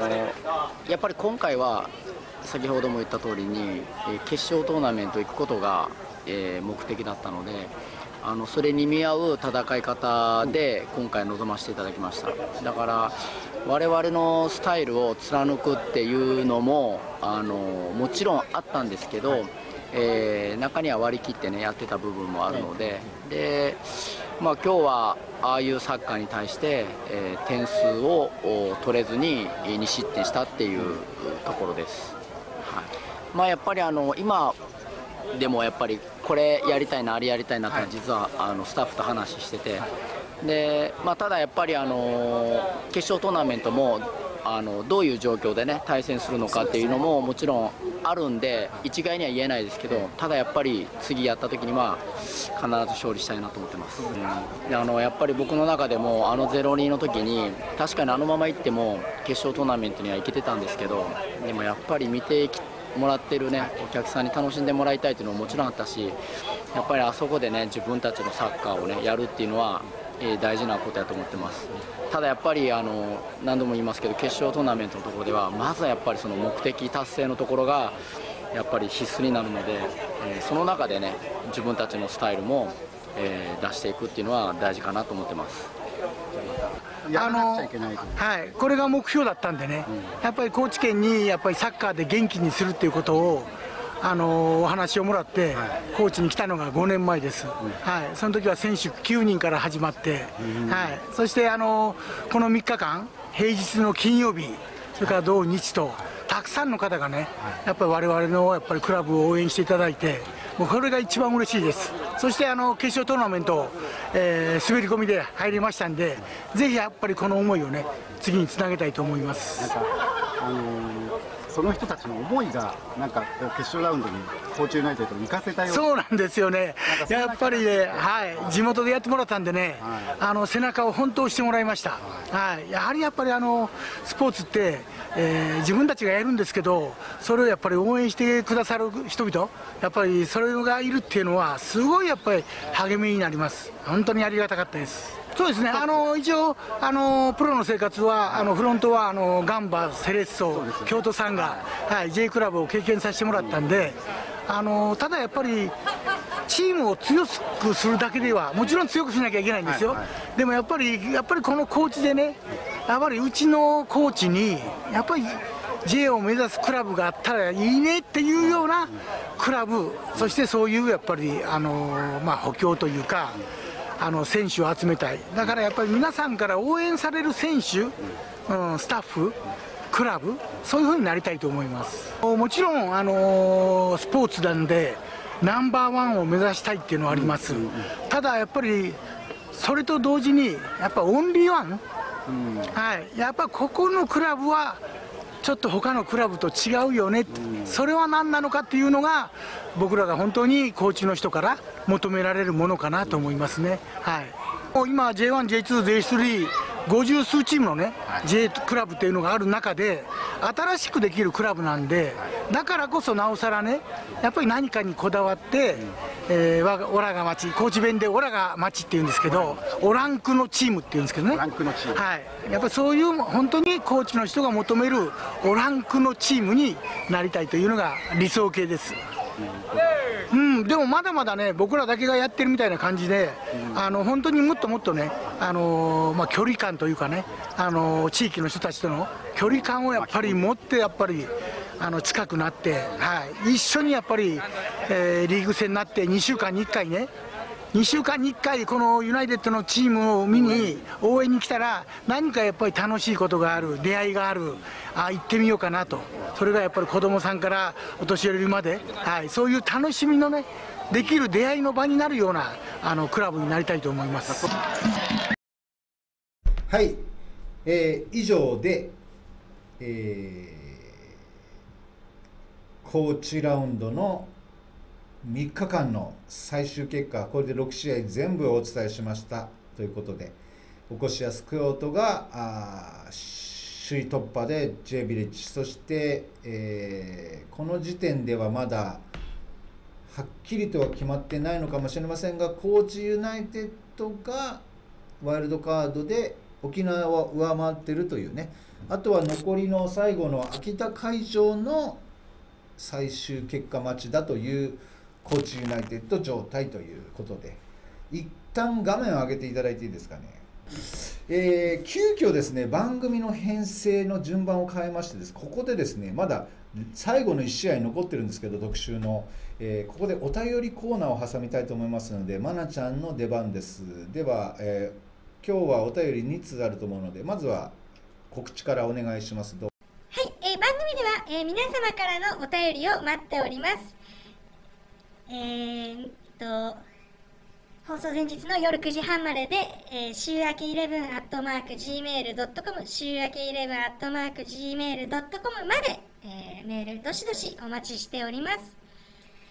それでは早速1通目読ませてもらいます。えー、湯の坊さつきさんからですね。えー、三坊町スタッフの皆さん、こんばんは、湯の郷さつきです。先日行われた地域チャンピオンズリーグ1次ラウンドに金沢に行ってきました。金沢からは福井ユナイテッドさんが決勝ラウンド進出を決めました。福井サポーターさんの熱い声援、そして福井県メディアの多さを考えると、ぜひ福井さんには JFL 昇格をつかみ取ってほしいと改めて感じました。湯の郷さつきさん、ありがとうございます。え続いて2通目です、えー青タオルさんからです、えー参謀長スタッフの皆様視聴者の皆様こんばんは。いつもお世話になります青タオルです。今週はいよいよ水曜日から開催される地域チャンピオンズリーグ最終ラウンドの告知をさせてください。今回はクラブサポーターと一体になり行くべ JFL、えースタジアムを赤く染めろと銘打ち大々的に企画してあります。会場に行くのに赤い服とか着ていかないとと思っているあなた。ユニフォームの貸し出しを、えー1000円デポジットで行います。いわき FC にちょっと興味があって時間が空いてるんだよなって方。ぜひ J ビレッジスタジアムに来て観戦してみませんか？観戦無料。いわき FC の試合はすべて午前10時45分キックオフ。おいでよ J ビレッジスタジアム。ということです。青タオルさんありがとうございました。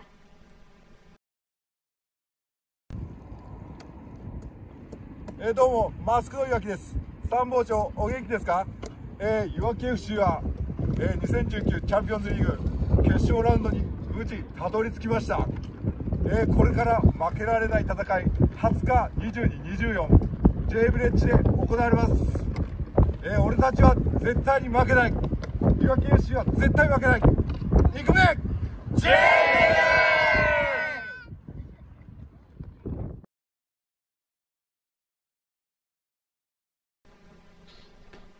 はいありがとうございました、えーまた、えー何度も再三告知させてもらっておりますが、えー週明けファミリーデカモリシこと、えー藤枝前 FC の森島選手のサイン入りスパイクプレゼントコーナーです。どしどし応募お待ちしております、えープレゼントの応募方法は YouTube のビターチャンネルアカウントをチャンネル登録ご自身の YouTube アカウントのログインに使っているメールアドレスから週明け 11gmail.com 宛てに住所、氏名、番組の感想を書いてお送りください。11月25日の夜中まで受け付けています。私への質問、参謀長への質問、スタッフへのファンレター、何でも大丈夫です。ぜひ送ってください。以上、メールのコーナーでした。はい、ありがとうございました。さあ、異例の特集の途中で、えーお便りを挟んで、ちょうど福井ユナイテッドにね行ったのとこういわきの投稿だったので挟みましたそしてあのスパイクプレゼントも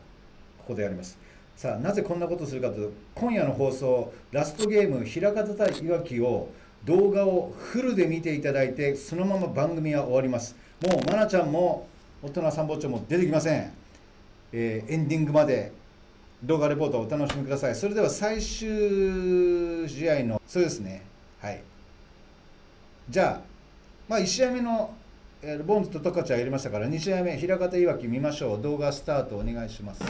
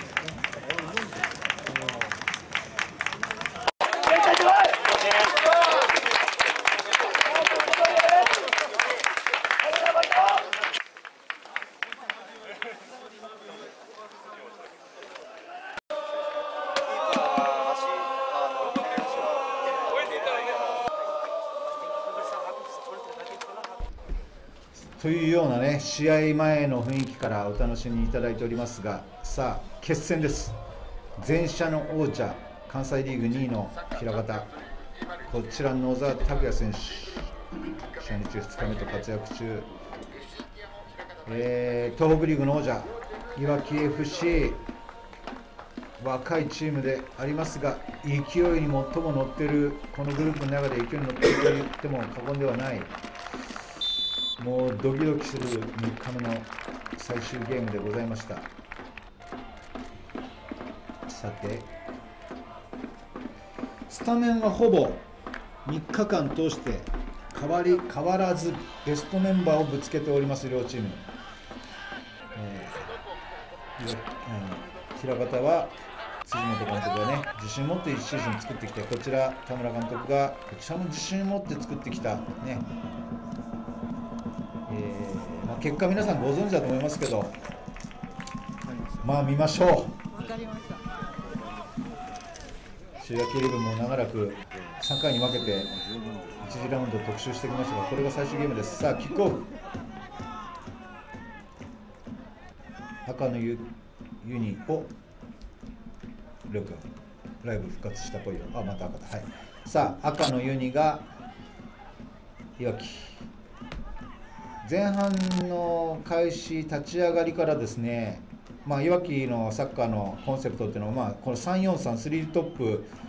3バックなんですけど前線からのプレッシャーねハイプレッシャーと、えー、センターバックもね勇気を持って押し上げるし1対1で勝つっていうね本当に、えー、前から前から仕掛けてくるっていうチームのスタイルで、えー、今前半早々ねこれオフサイドでしたがバスケス・バイロン選手のシュートでした。さあ平方はこの8番の野沢選手と6番の田中選手を中心に中盤バックライン、えー、つなぐスタイルなんでね。さあこれハーフカウンター食らっちゃうっていうね。このつなぐスタイルがゆえにえっ、ー、とまあいわきのプレッシングで取られると本当に守備陣形揃ってないところでカウンター食らうねっていうのが前半何本もありました。さあキャプテン8番日高選手。左のアウトサイドからねこれも多分枠内だったんじゃないかなと。さあ、えー、平方らしさというね攻撃的なサッカー質は高いんですがこのゲームは全くいいとこがないっていうですね。それだけいわきの11人が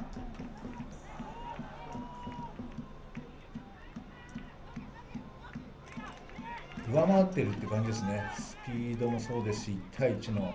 寄せ。中盤の圧力。とこのこぼれ球を拾う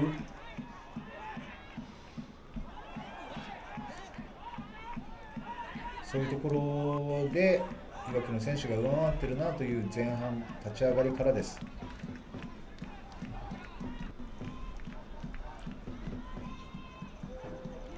さあ平方のコーナー野沢選手から今ゴール前惜しかったんですけど入らずさあそうこうしているうちにですねこうやって平方は、まあ、なんとか、えー、崩そう崩そうと、まあ、いつものやり方なんですけどなかなかですねリズムというかこう連携も合わずこのようにカウンターを食らうんですね。さあここからバスケス選手が今粘ってますが。競り勝ちます。もう一回拾い直してっていうね。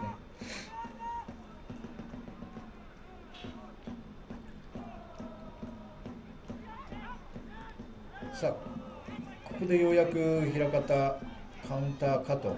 でもまたやっぱ戻って、えー、しっかりやるんですよね。あの戻りも早いのでね。平方にほほぼ流れからチャンス作れないそうこうするうちに、えー、前田選手から縦パス1本バスケスヒールパスでサイドから中央入れると。これ、まあ、かろうじて防ぎましたがもうもう決定機でした。もう危ないなっていうね。これはやられたっていうね、まあ、この前のフォワード3人の連携もそうですし中盤から後ろの選手から本当にマイボールになった瞬間に何をすべきかっていうのはもう徹底されてるなというね。そしてこれが先制です。これもカウンターで。3本のパスで多分1点入ったんじゃないですかね。見事いわき FC が前半開始からの流れで、えー、まあ平方をはるかに上回った運動量で1点潜りました。そしてこれが、えー、キックオフ再開後なんですけどこのままノーカットで見てください。すぐにまた平方がミスから失点します。今のが中途半端にショートパスを取られかっさらわれサイドえぐられヘディング。えー、1点目も赤星選手、2点目も背番号9番赤星選手。前半20分と21分とね、2分間で2失点。もうさすがにこれは、平方の選手たち、もうちょっとピリッとしないとっていうね、えー、キャプテンの田中秀夫選手もしきりに、えー、後ろのバックスの選手にね、えー、声をかけていましたが。さあここワンタッチでバスケス裏を取れます。パワーのあるシュート。惜しくも枠には行きませんでしたが2本3本のパスでシュートまでいけるっていうねいわきの前半はそうこういうシーンが本当に多くて。さあこれも決定機だったんじゃないかな。あこれはディフェンダーの樋口選手がクリアと。そしてコーナー。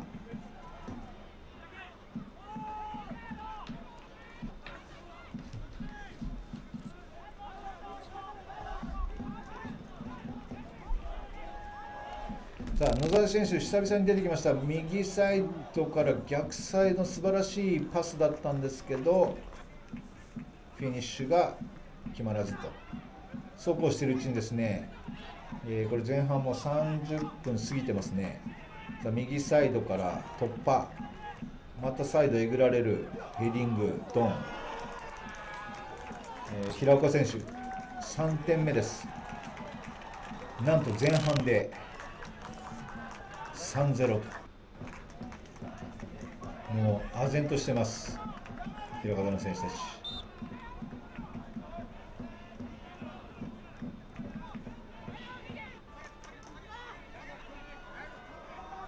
重い数字だと思います。前半0-3っていうのは。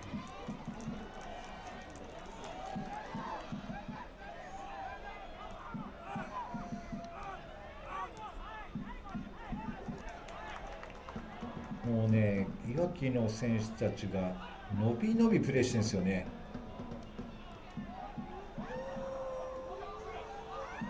フィジカルで上回ってるというだけではない本当にメンタリティ気持ちが本当にイケイケというかノリに乗ってるっていう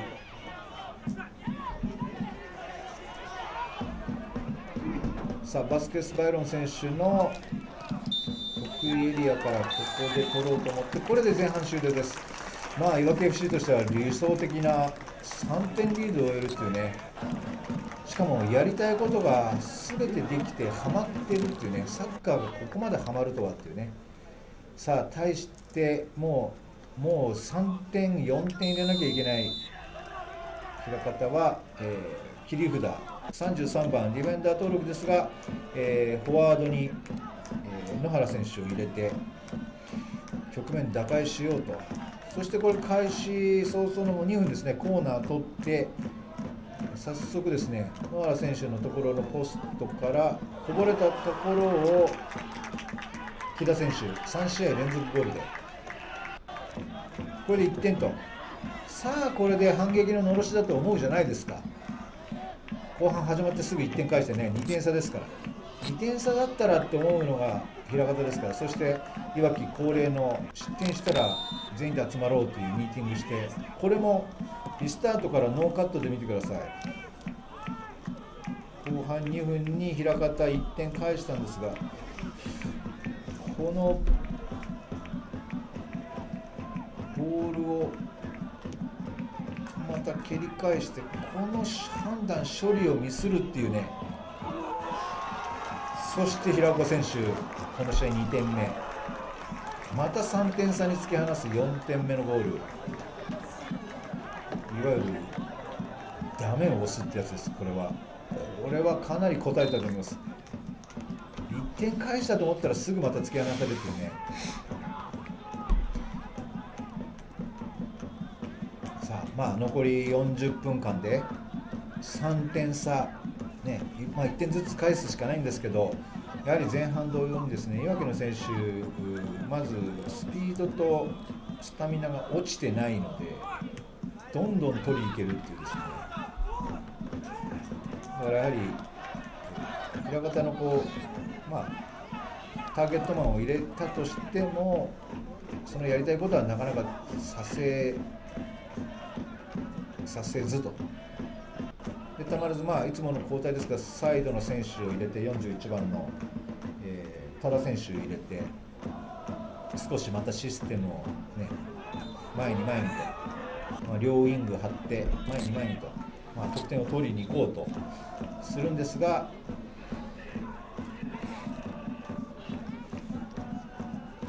やっぱり野沢選手と田中選手の本当中盤の重要なプレーヤーにいい仕事をさせないという徹底的にやっぱり裏方のサッカーをどうやったら防げるかを徹底的に研究してきたなっていうのがこの3試合目を見ててこのいわきの若い選手たちは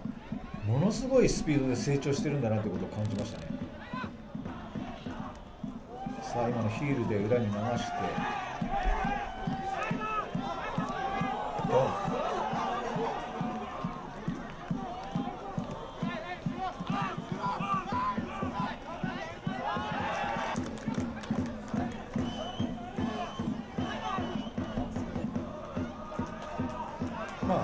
ぱり9番の赤星選手、本当、トップでね、体も張って、ポストプレーもして、ゴールも決めれてっていうね、この大会で3試合通じてね、多分4ゴールぐらい決めてるかな、やっぱり急成長中だなというフォワードでありますし、やっぱりストライカーが結果出すっていうのはね、チャンピオンズリーグ、J ビレッジ行きを決める重要な要素ですね、これさあ最初にこれをあの岩木の田村監督の2日間通してやってきたことですけどルーティンのようにまた平岡選手を途中で下げて吉田選手を入れるという背番号23番の吉田選手を入れてます。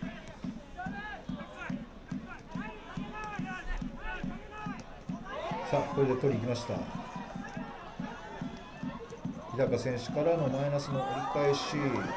このキーパーなんとか、ね、ゴールキーパーの武井選手がなんとか弾いて。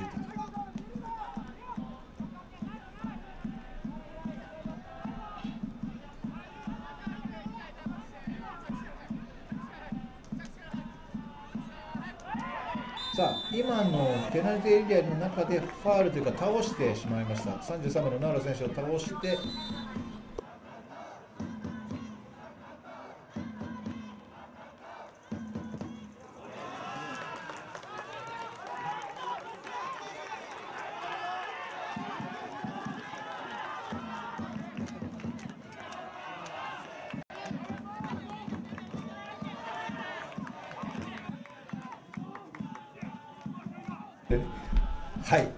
PK は野沢選手が決めまして、うん、すみませんスタジオのマイクが不良でした、はい、さあ2点差まで追い詰めたんですが、えーと、岩木も1人変えております今、えー、熊川選手、えー、中盤のところをちょっとこうケアしようと言って選手を変えてます。さあ2点差。もう残り5分になってましたっていうぐらいですねこれ。4対2全勝を5連勝で優勝した平方がこんな負け方をするのかっていうことがなんか本当に現実味を帯びてくるこのちょうど夕暮れ時なんですけど私はなんかまあどっちかが1位突破でどっちかが2位になるんですけどこんな内容になるとはちょっと思ってなかったなっていうぐらいのね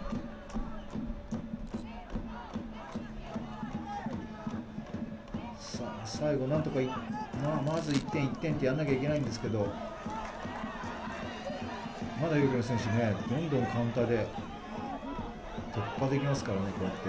て。さあ、これ最後、バスケス選手の決定的だったんですよね。ういこの日バスケス選手はノーゴール、ちょっと田村監督苦笑いで、まあ、安心させてくれよってね、今のが決まったらもう本当、決定的にね、3点差になるんでね。えー、アディショナル4分入りました。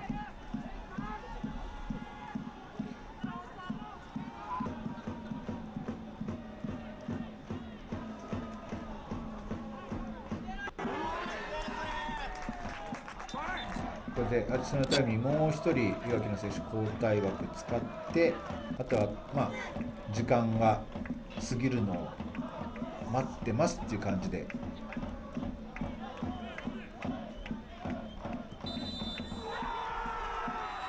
以上。試合終了。いわきが C 突破です。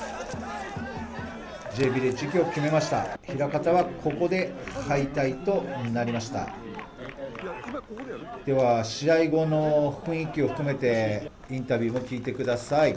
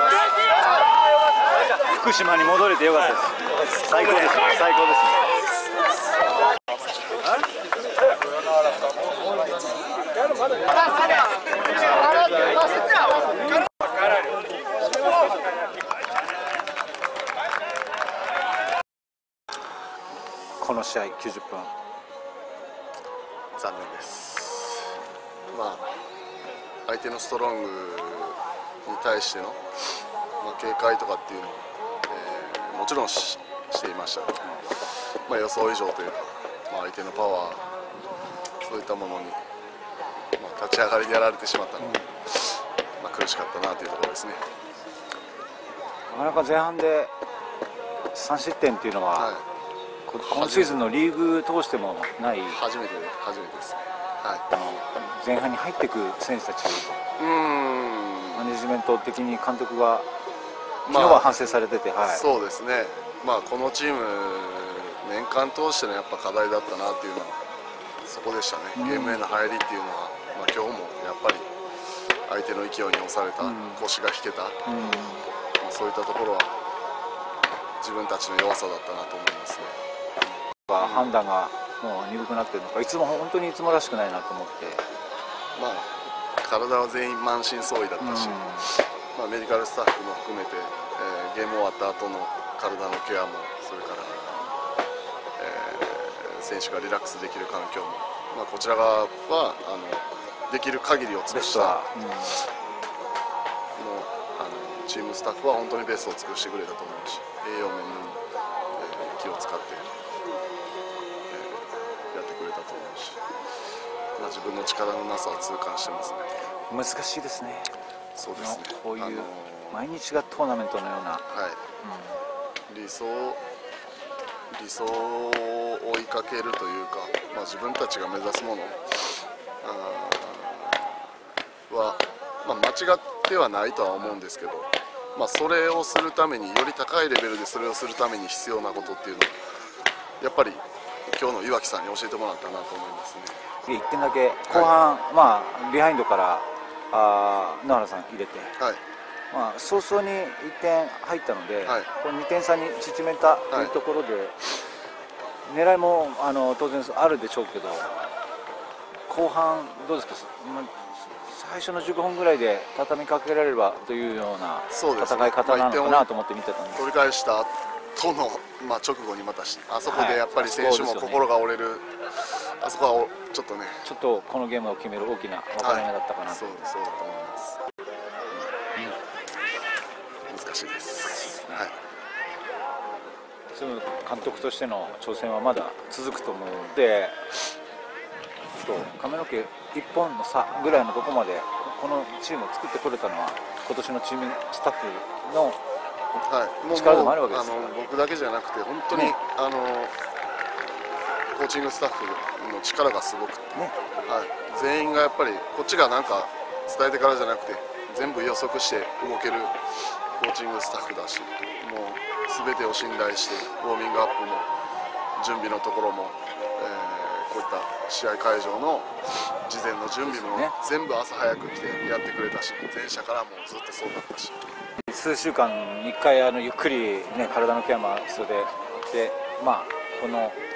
1ヶ月2ヶ月でまた、そうですねまたスタートが始まるという日でもあると思うので、はい、まあ、もちろんそうですね。必ずまたこのはショックあると思うんでね。この舞台にまた戻ってきていただければと、上を目指私はす限り、思ってます来年もチャレンジし続けると思いますし、はい、選手たちと一緒に頑張りたいと思います。そうじゃないですか。パーフェクトでしたマジで270分間戦ってる選手たちと思えないぐらいの。完全ハードワーク勝ちでしたねマジで。ものすごかったですね。いやもう周りが走れるんでこうもうすごいですね。すごいチームつになってますね。いていかないとみたいなやっぱ。俺もみたいな。周りに鼓舞されます。めちゃめちゃハードワークしてくれるからごいっすこんなハードワークしたことないっすよねでも。いや去年も私見てましたけど、はい。確変してますね今。この3日間いやま間違いです見たことないわっていうぐらいの。こんなマジで？びっくりしました。本当に良かったですその質っていうか一人一人の個のはい。個のパワーと能力パワがーはすごいです。やっぱ本当に任せとけばやってくれるっていう感じはあります。ね本当に一人にこの年齢の選手急激に伸びるんですね。そうですよ。本当に本当にやってて楽しいし自分が真ん中曖昧なボール出してもみんなやってくれるしだからまあ本当に中盤俺と優と本当に同い年ですけどめちゃめちゃこうなんていうか試合中に「いやお前もっと走れよ」みたいな感じで俺より走れるだろみたいな。感じで2人で鼓舞しながらの中盤2人、あとチームのスタイルとしても、このがボール運べてはい。回すっていうスタイルをほとんどさせなかったところが、いやもう。中盤っていう部分でも上回ってたからそれがすごいです。全部ハードワークまあ、寄せれば寄せて、まあ、相手もそんな速くないから、2個いければ間に合うっていう自分たちスタイルだったんで。多分判断も寄せる判断も早かった。そうですね。本当に後ろがさせなかった。ついてきてくれるからすごい思い切って前に潰しにいけるじゃないですけど。本当に後ろ3枚が強いからすごいですね。こっちはだから後ろは任せたみたいなだから俺と言うと真ん中でだからいけますもんね。支えようみたいなもん、一発目から取り行くぞってなりますもんね、めちゃめちゃ本当にいいゲームでした。だからこれを続けてですね。まあ、パワーアップしてもっと質上げて。僕は本当に 歩きながらちょっと聞いておりました。前田ナイスプレーだよまたまあ、今日はあの本当に選手があののびのびとあのサッカー楽しんでくれたかなというふうに思ってますあの、まあ、僕特に何もしてないですけど、まあ、本当に選手の力だったなと思ってます。あの平方に勝つならこうだという戦略戦術当然いい準備をして今日迎えたと思うんですがやることが全てはまったんではないかと思って見てましたが。まあ、そうです。ね、まあ、あの平方さんのストロングだったりとか、うん、まあ、その部分は十分あのこっちは理解してるんですけど、まあ、逆に、えー、伝えすぎずに選手たちに、はい。はい。まあ、大体こういうふうなことをやってくるこういうことはストロングだよっていうことは伝えながらも、うん、どっちかというと自分たちが今までやってきたことしっかり前線がプレッシングいくと連動すると、うん、チャレンジとかはみんなもあの味方を助け合いとそういう話だけをしたので、まあ、それがあの、まあ、1戦目より2戦目2戦目より3戦目のふうに出せたっていうのはすごく良かったかなと思います。これは選手たちの成長がかなりそうですね、まあ、僕もさっきあのふと思ってたんですけどあ。のこういう、まあ、こう緊迫したゲームというかあの緊張感のゲームっていうのをやっぱ1日目、2日目、3日目。とこの3日間でうちの話ですごく成長したと思いますしやっぱこの緊張感あるゲーム週に1回できたらどのぐらい成長するのかなとか、ねうん、まあ、どっちかというとそういうふうに考えてました、そう思うと、まあ、一指導者として、えー、彼らに伝えていくことって、うんまあ、サッカーの指導者だからサッカーを伝えなくちゃいけないんですけれどもそれ以外の部分って結構大きいな、うん、もっとマネジメントだったりとか、うん。この試合に全力にプレーさせてあげる楽しませてあげるそっちのマネジメントの方がすごく重要だなっていうふうにはちょっと感じ2019年の全試合チケットで監督自身が新たに気づかれた気づきがあったっていうことですか？まあ僕はあのあの大した指導者じゃないと思ってるんで僕はどっちかっていうと、えーまあ、年齢的にもまだあの選手に近い方だと思いますし、えー、僕と同級生がまだこの大会に出てるぐらいでしたので、長野さんとかいました俺も頑張らなきゃいけないわと思いながらも、まあ、でもあの今の現代の、うん、えー、時代に沿った指導をしなくちゃいけないと思いますし、えー、一生懸命やる苦しい時もどっちかというとやっぱまだ分かる方かなっていうふうに思ってますんで、まあ、そこを理解してあげながらもやっぱりサッカーってスポーツのやっぱ、まあ、変わらない大切なもの？しっかりファイトするだったりとか、えー、クリーンにしっかり球際行かなくちゃいけないですし、えーまあ、いわきとして大事にして前線からなるべく敵陣で奪ってゴールに行きたいいやそういうことをしっかり体現するということをやっぱ選手に伝えたかったですしもっと言ったらやっぱ今回は、えー、その台風19号のこともやっぱ大きかったと思いますし、みんなでそういうそれぞれが、えー、思ってる思いを一つにして、えー、いわきの人たちに元気を届けようとそういう姿を絶対見せなくちゃいけないよっていうことで、まあ、それが本当に、まあ、僕も本当びっくりしますけど1日目より2日目よりも3日目に今日一番現れたっていうのは、まあ、本当にサポーターの声援のおかげもありますしあの選手が本当によく頑張ってくれたなと思います。分間3日間連続で270分間走りきった選手もかなりいるんだ。まあ、90分の3連戦っていうのは本当に結構、はい、あのハードだなと思いながらも、はい、心配はなかった？あの怪我する心配はっていうかどっちかというとやっぱり不思議なもので、うん、選手が集中している目の前にしっかり自分から戦いに行くって思ってる試合っていうのはそんなやっぱ怪我しないのかな。どっちかっていうとやらされてるとか、うん、生かされてるっていう雰囲気の方がやっぱ怪我しやすいのかなっていうふうにはちょっと感じました、まあ、それはやっぱ医学的にちょっと あの証拠も根拠もないんですけれどもただうーん誰一人変えてほしいとか、休みたいっていうのがいなかったので、逆にこれ同じメンバーで行った方が、まあ、この子たちももっと成長するだろうし、えーまあ本当はもっと選手使いたかったんですけれども、まあ、ちょっと相手のセットプレーだったり、そういうことを踏まえてちょっとなかなか変えれなかったんですが、うんまあ選手は多分やる気ではいたので絶対あのスタートの選手だけじゃなくて、まあ、誰が使っても多分同じような結果になったと思います。そうですね。驚きました。270分間走ってケロッとしてる20代の選手を見てちょっと軽く衝撃をあ本当ですまあでも、まあ、それなりのあのサポートを受けてますし、えーそれなりにやっぱトレーニングしてますし、まあ、フィジカルだけじゃなくてしっかりフットボールのトレーニングもしてますんで、まあ一番やっぱ選手がそのやろうと思っている選手の意欲がそういうふうにしたのかなと思います。改めて270分間出続けてみてどうですか？この大会。まあ自分たちはのグループは、まあ、死の組と言われるグループで、言いままあ、関東王者、東北王者そして前者のチャンピオンそして北海道チャンピオン。おそらく一番厳しいグループ一番、まあ、過酷と言われてたグループでありながらも、まあ、やっぱり最後は、まあ、結果はついてきたんですけど、まあそれは、まあ、選手全員が同じ方向に向かってたからっていうのと、もう体がきついとか動かないとかじゃなくて、それ体よりも気持ちが勝っていたからやっぱり勝ちにつながったかなと思います。びっくりしたね。やっぱりなんか気持ちってすごいですね。そうですね。今日は岩木のサポーターも多かったですし、うん。あの岩木からあの外れたメンバーも来てくれたし、来てましたね。なんか本当にいろんな人が自分たちのためにこうここまで来てくれるって考えただけでもうすごい。モチベーションが上がるし。日頃のジムでのトレーニングもまあハードにやってるじゃないですか。でもまあ3日間で感じることであれだけ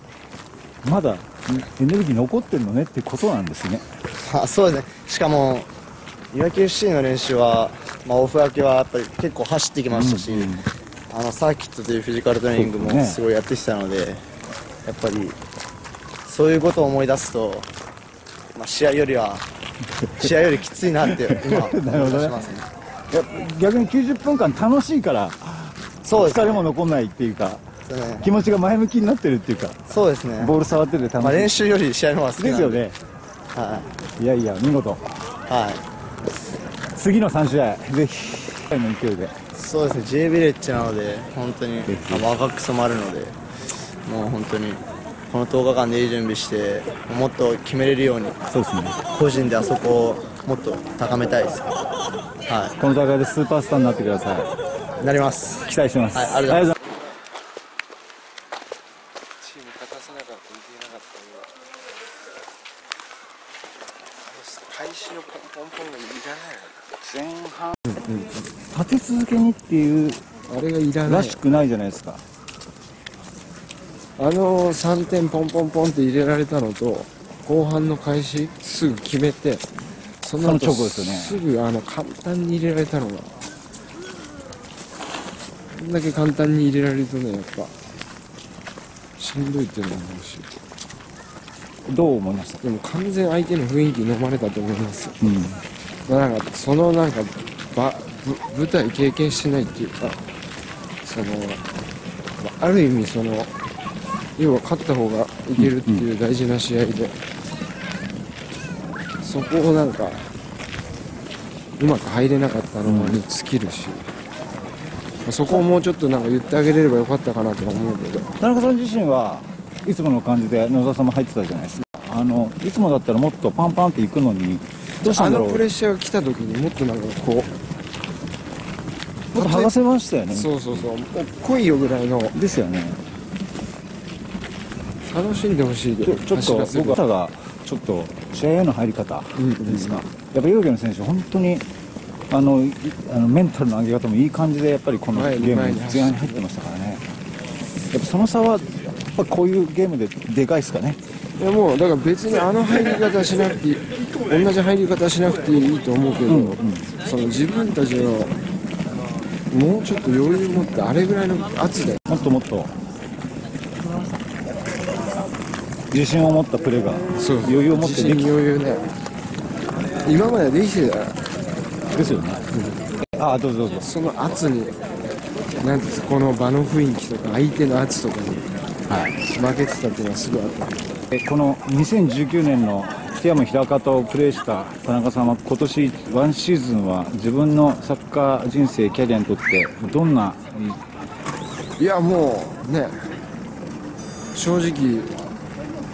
自分のプレー以外の部分も求められる部分が多かったんですけど僕自身も成長させてもらいましたし、う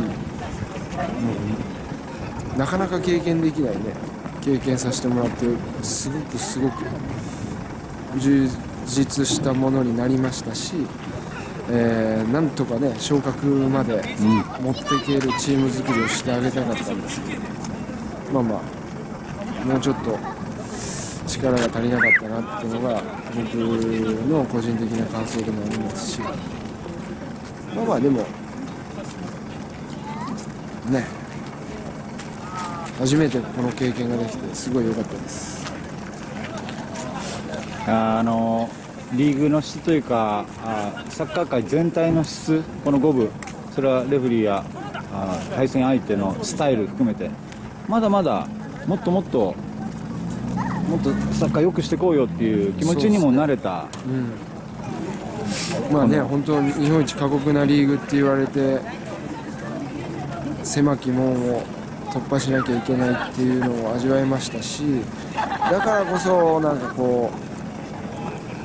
う上に行って、えー、しっかりこう通用するようなチーム作りっていうのをねえ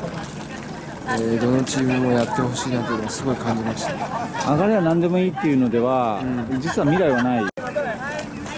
皮肉なことに、うん、未来のあるサッカーをしているチームがあっけなくこの終わり方をするっていうのがああサッカーってやっぱ残酷なスポーツだなって。だからこそ結果出したかったんですけどね。ですよね。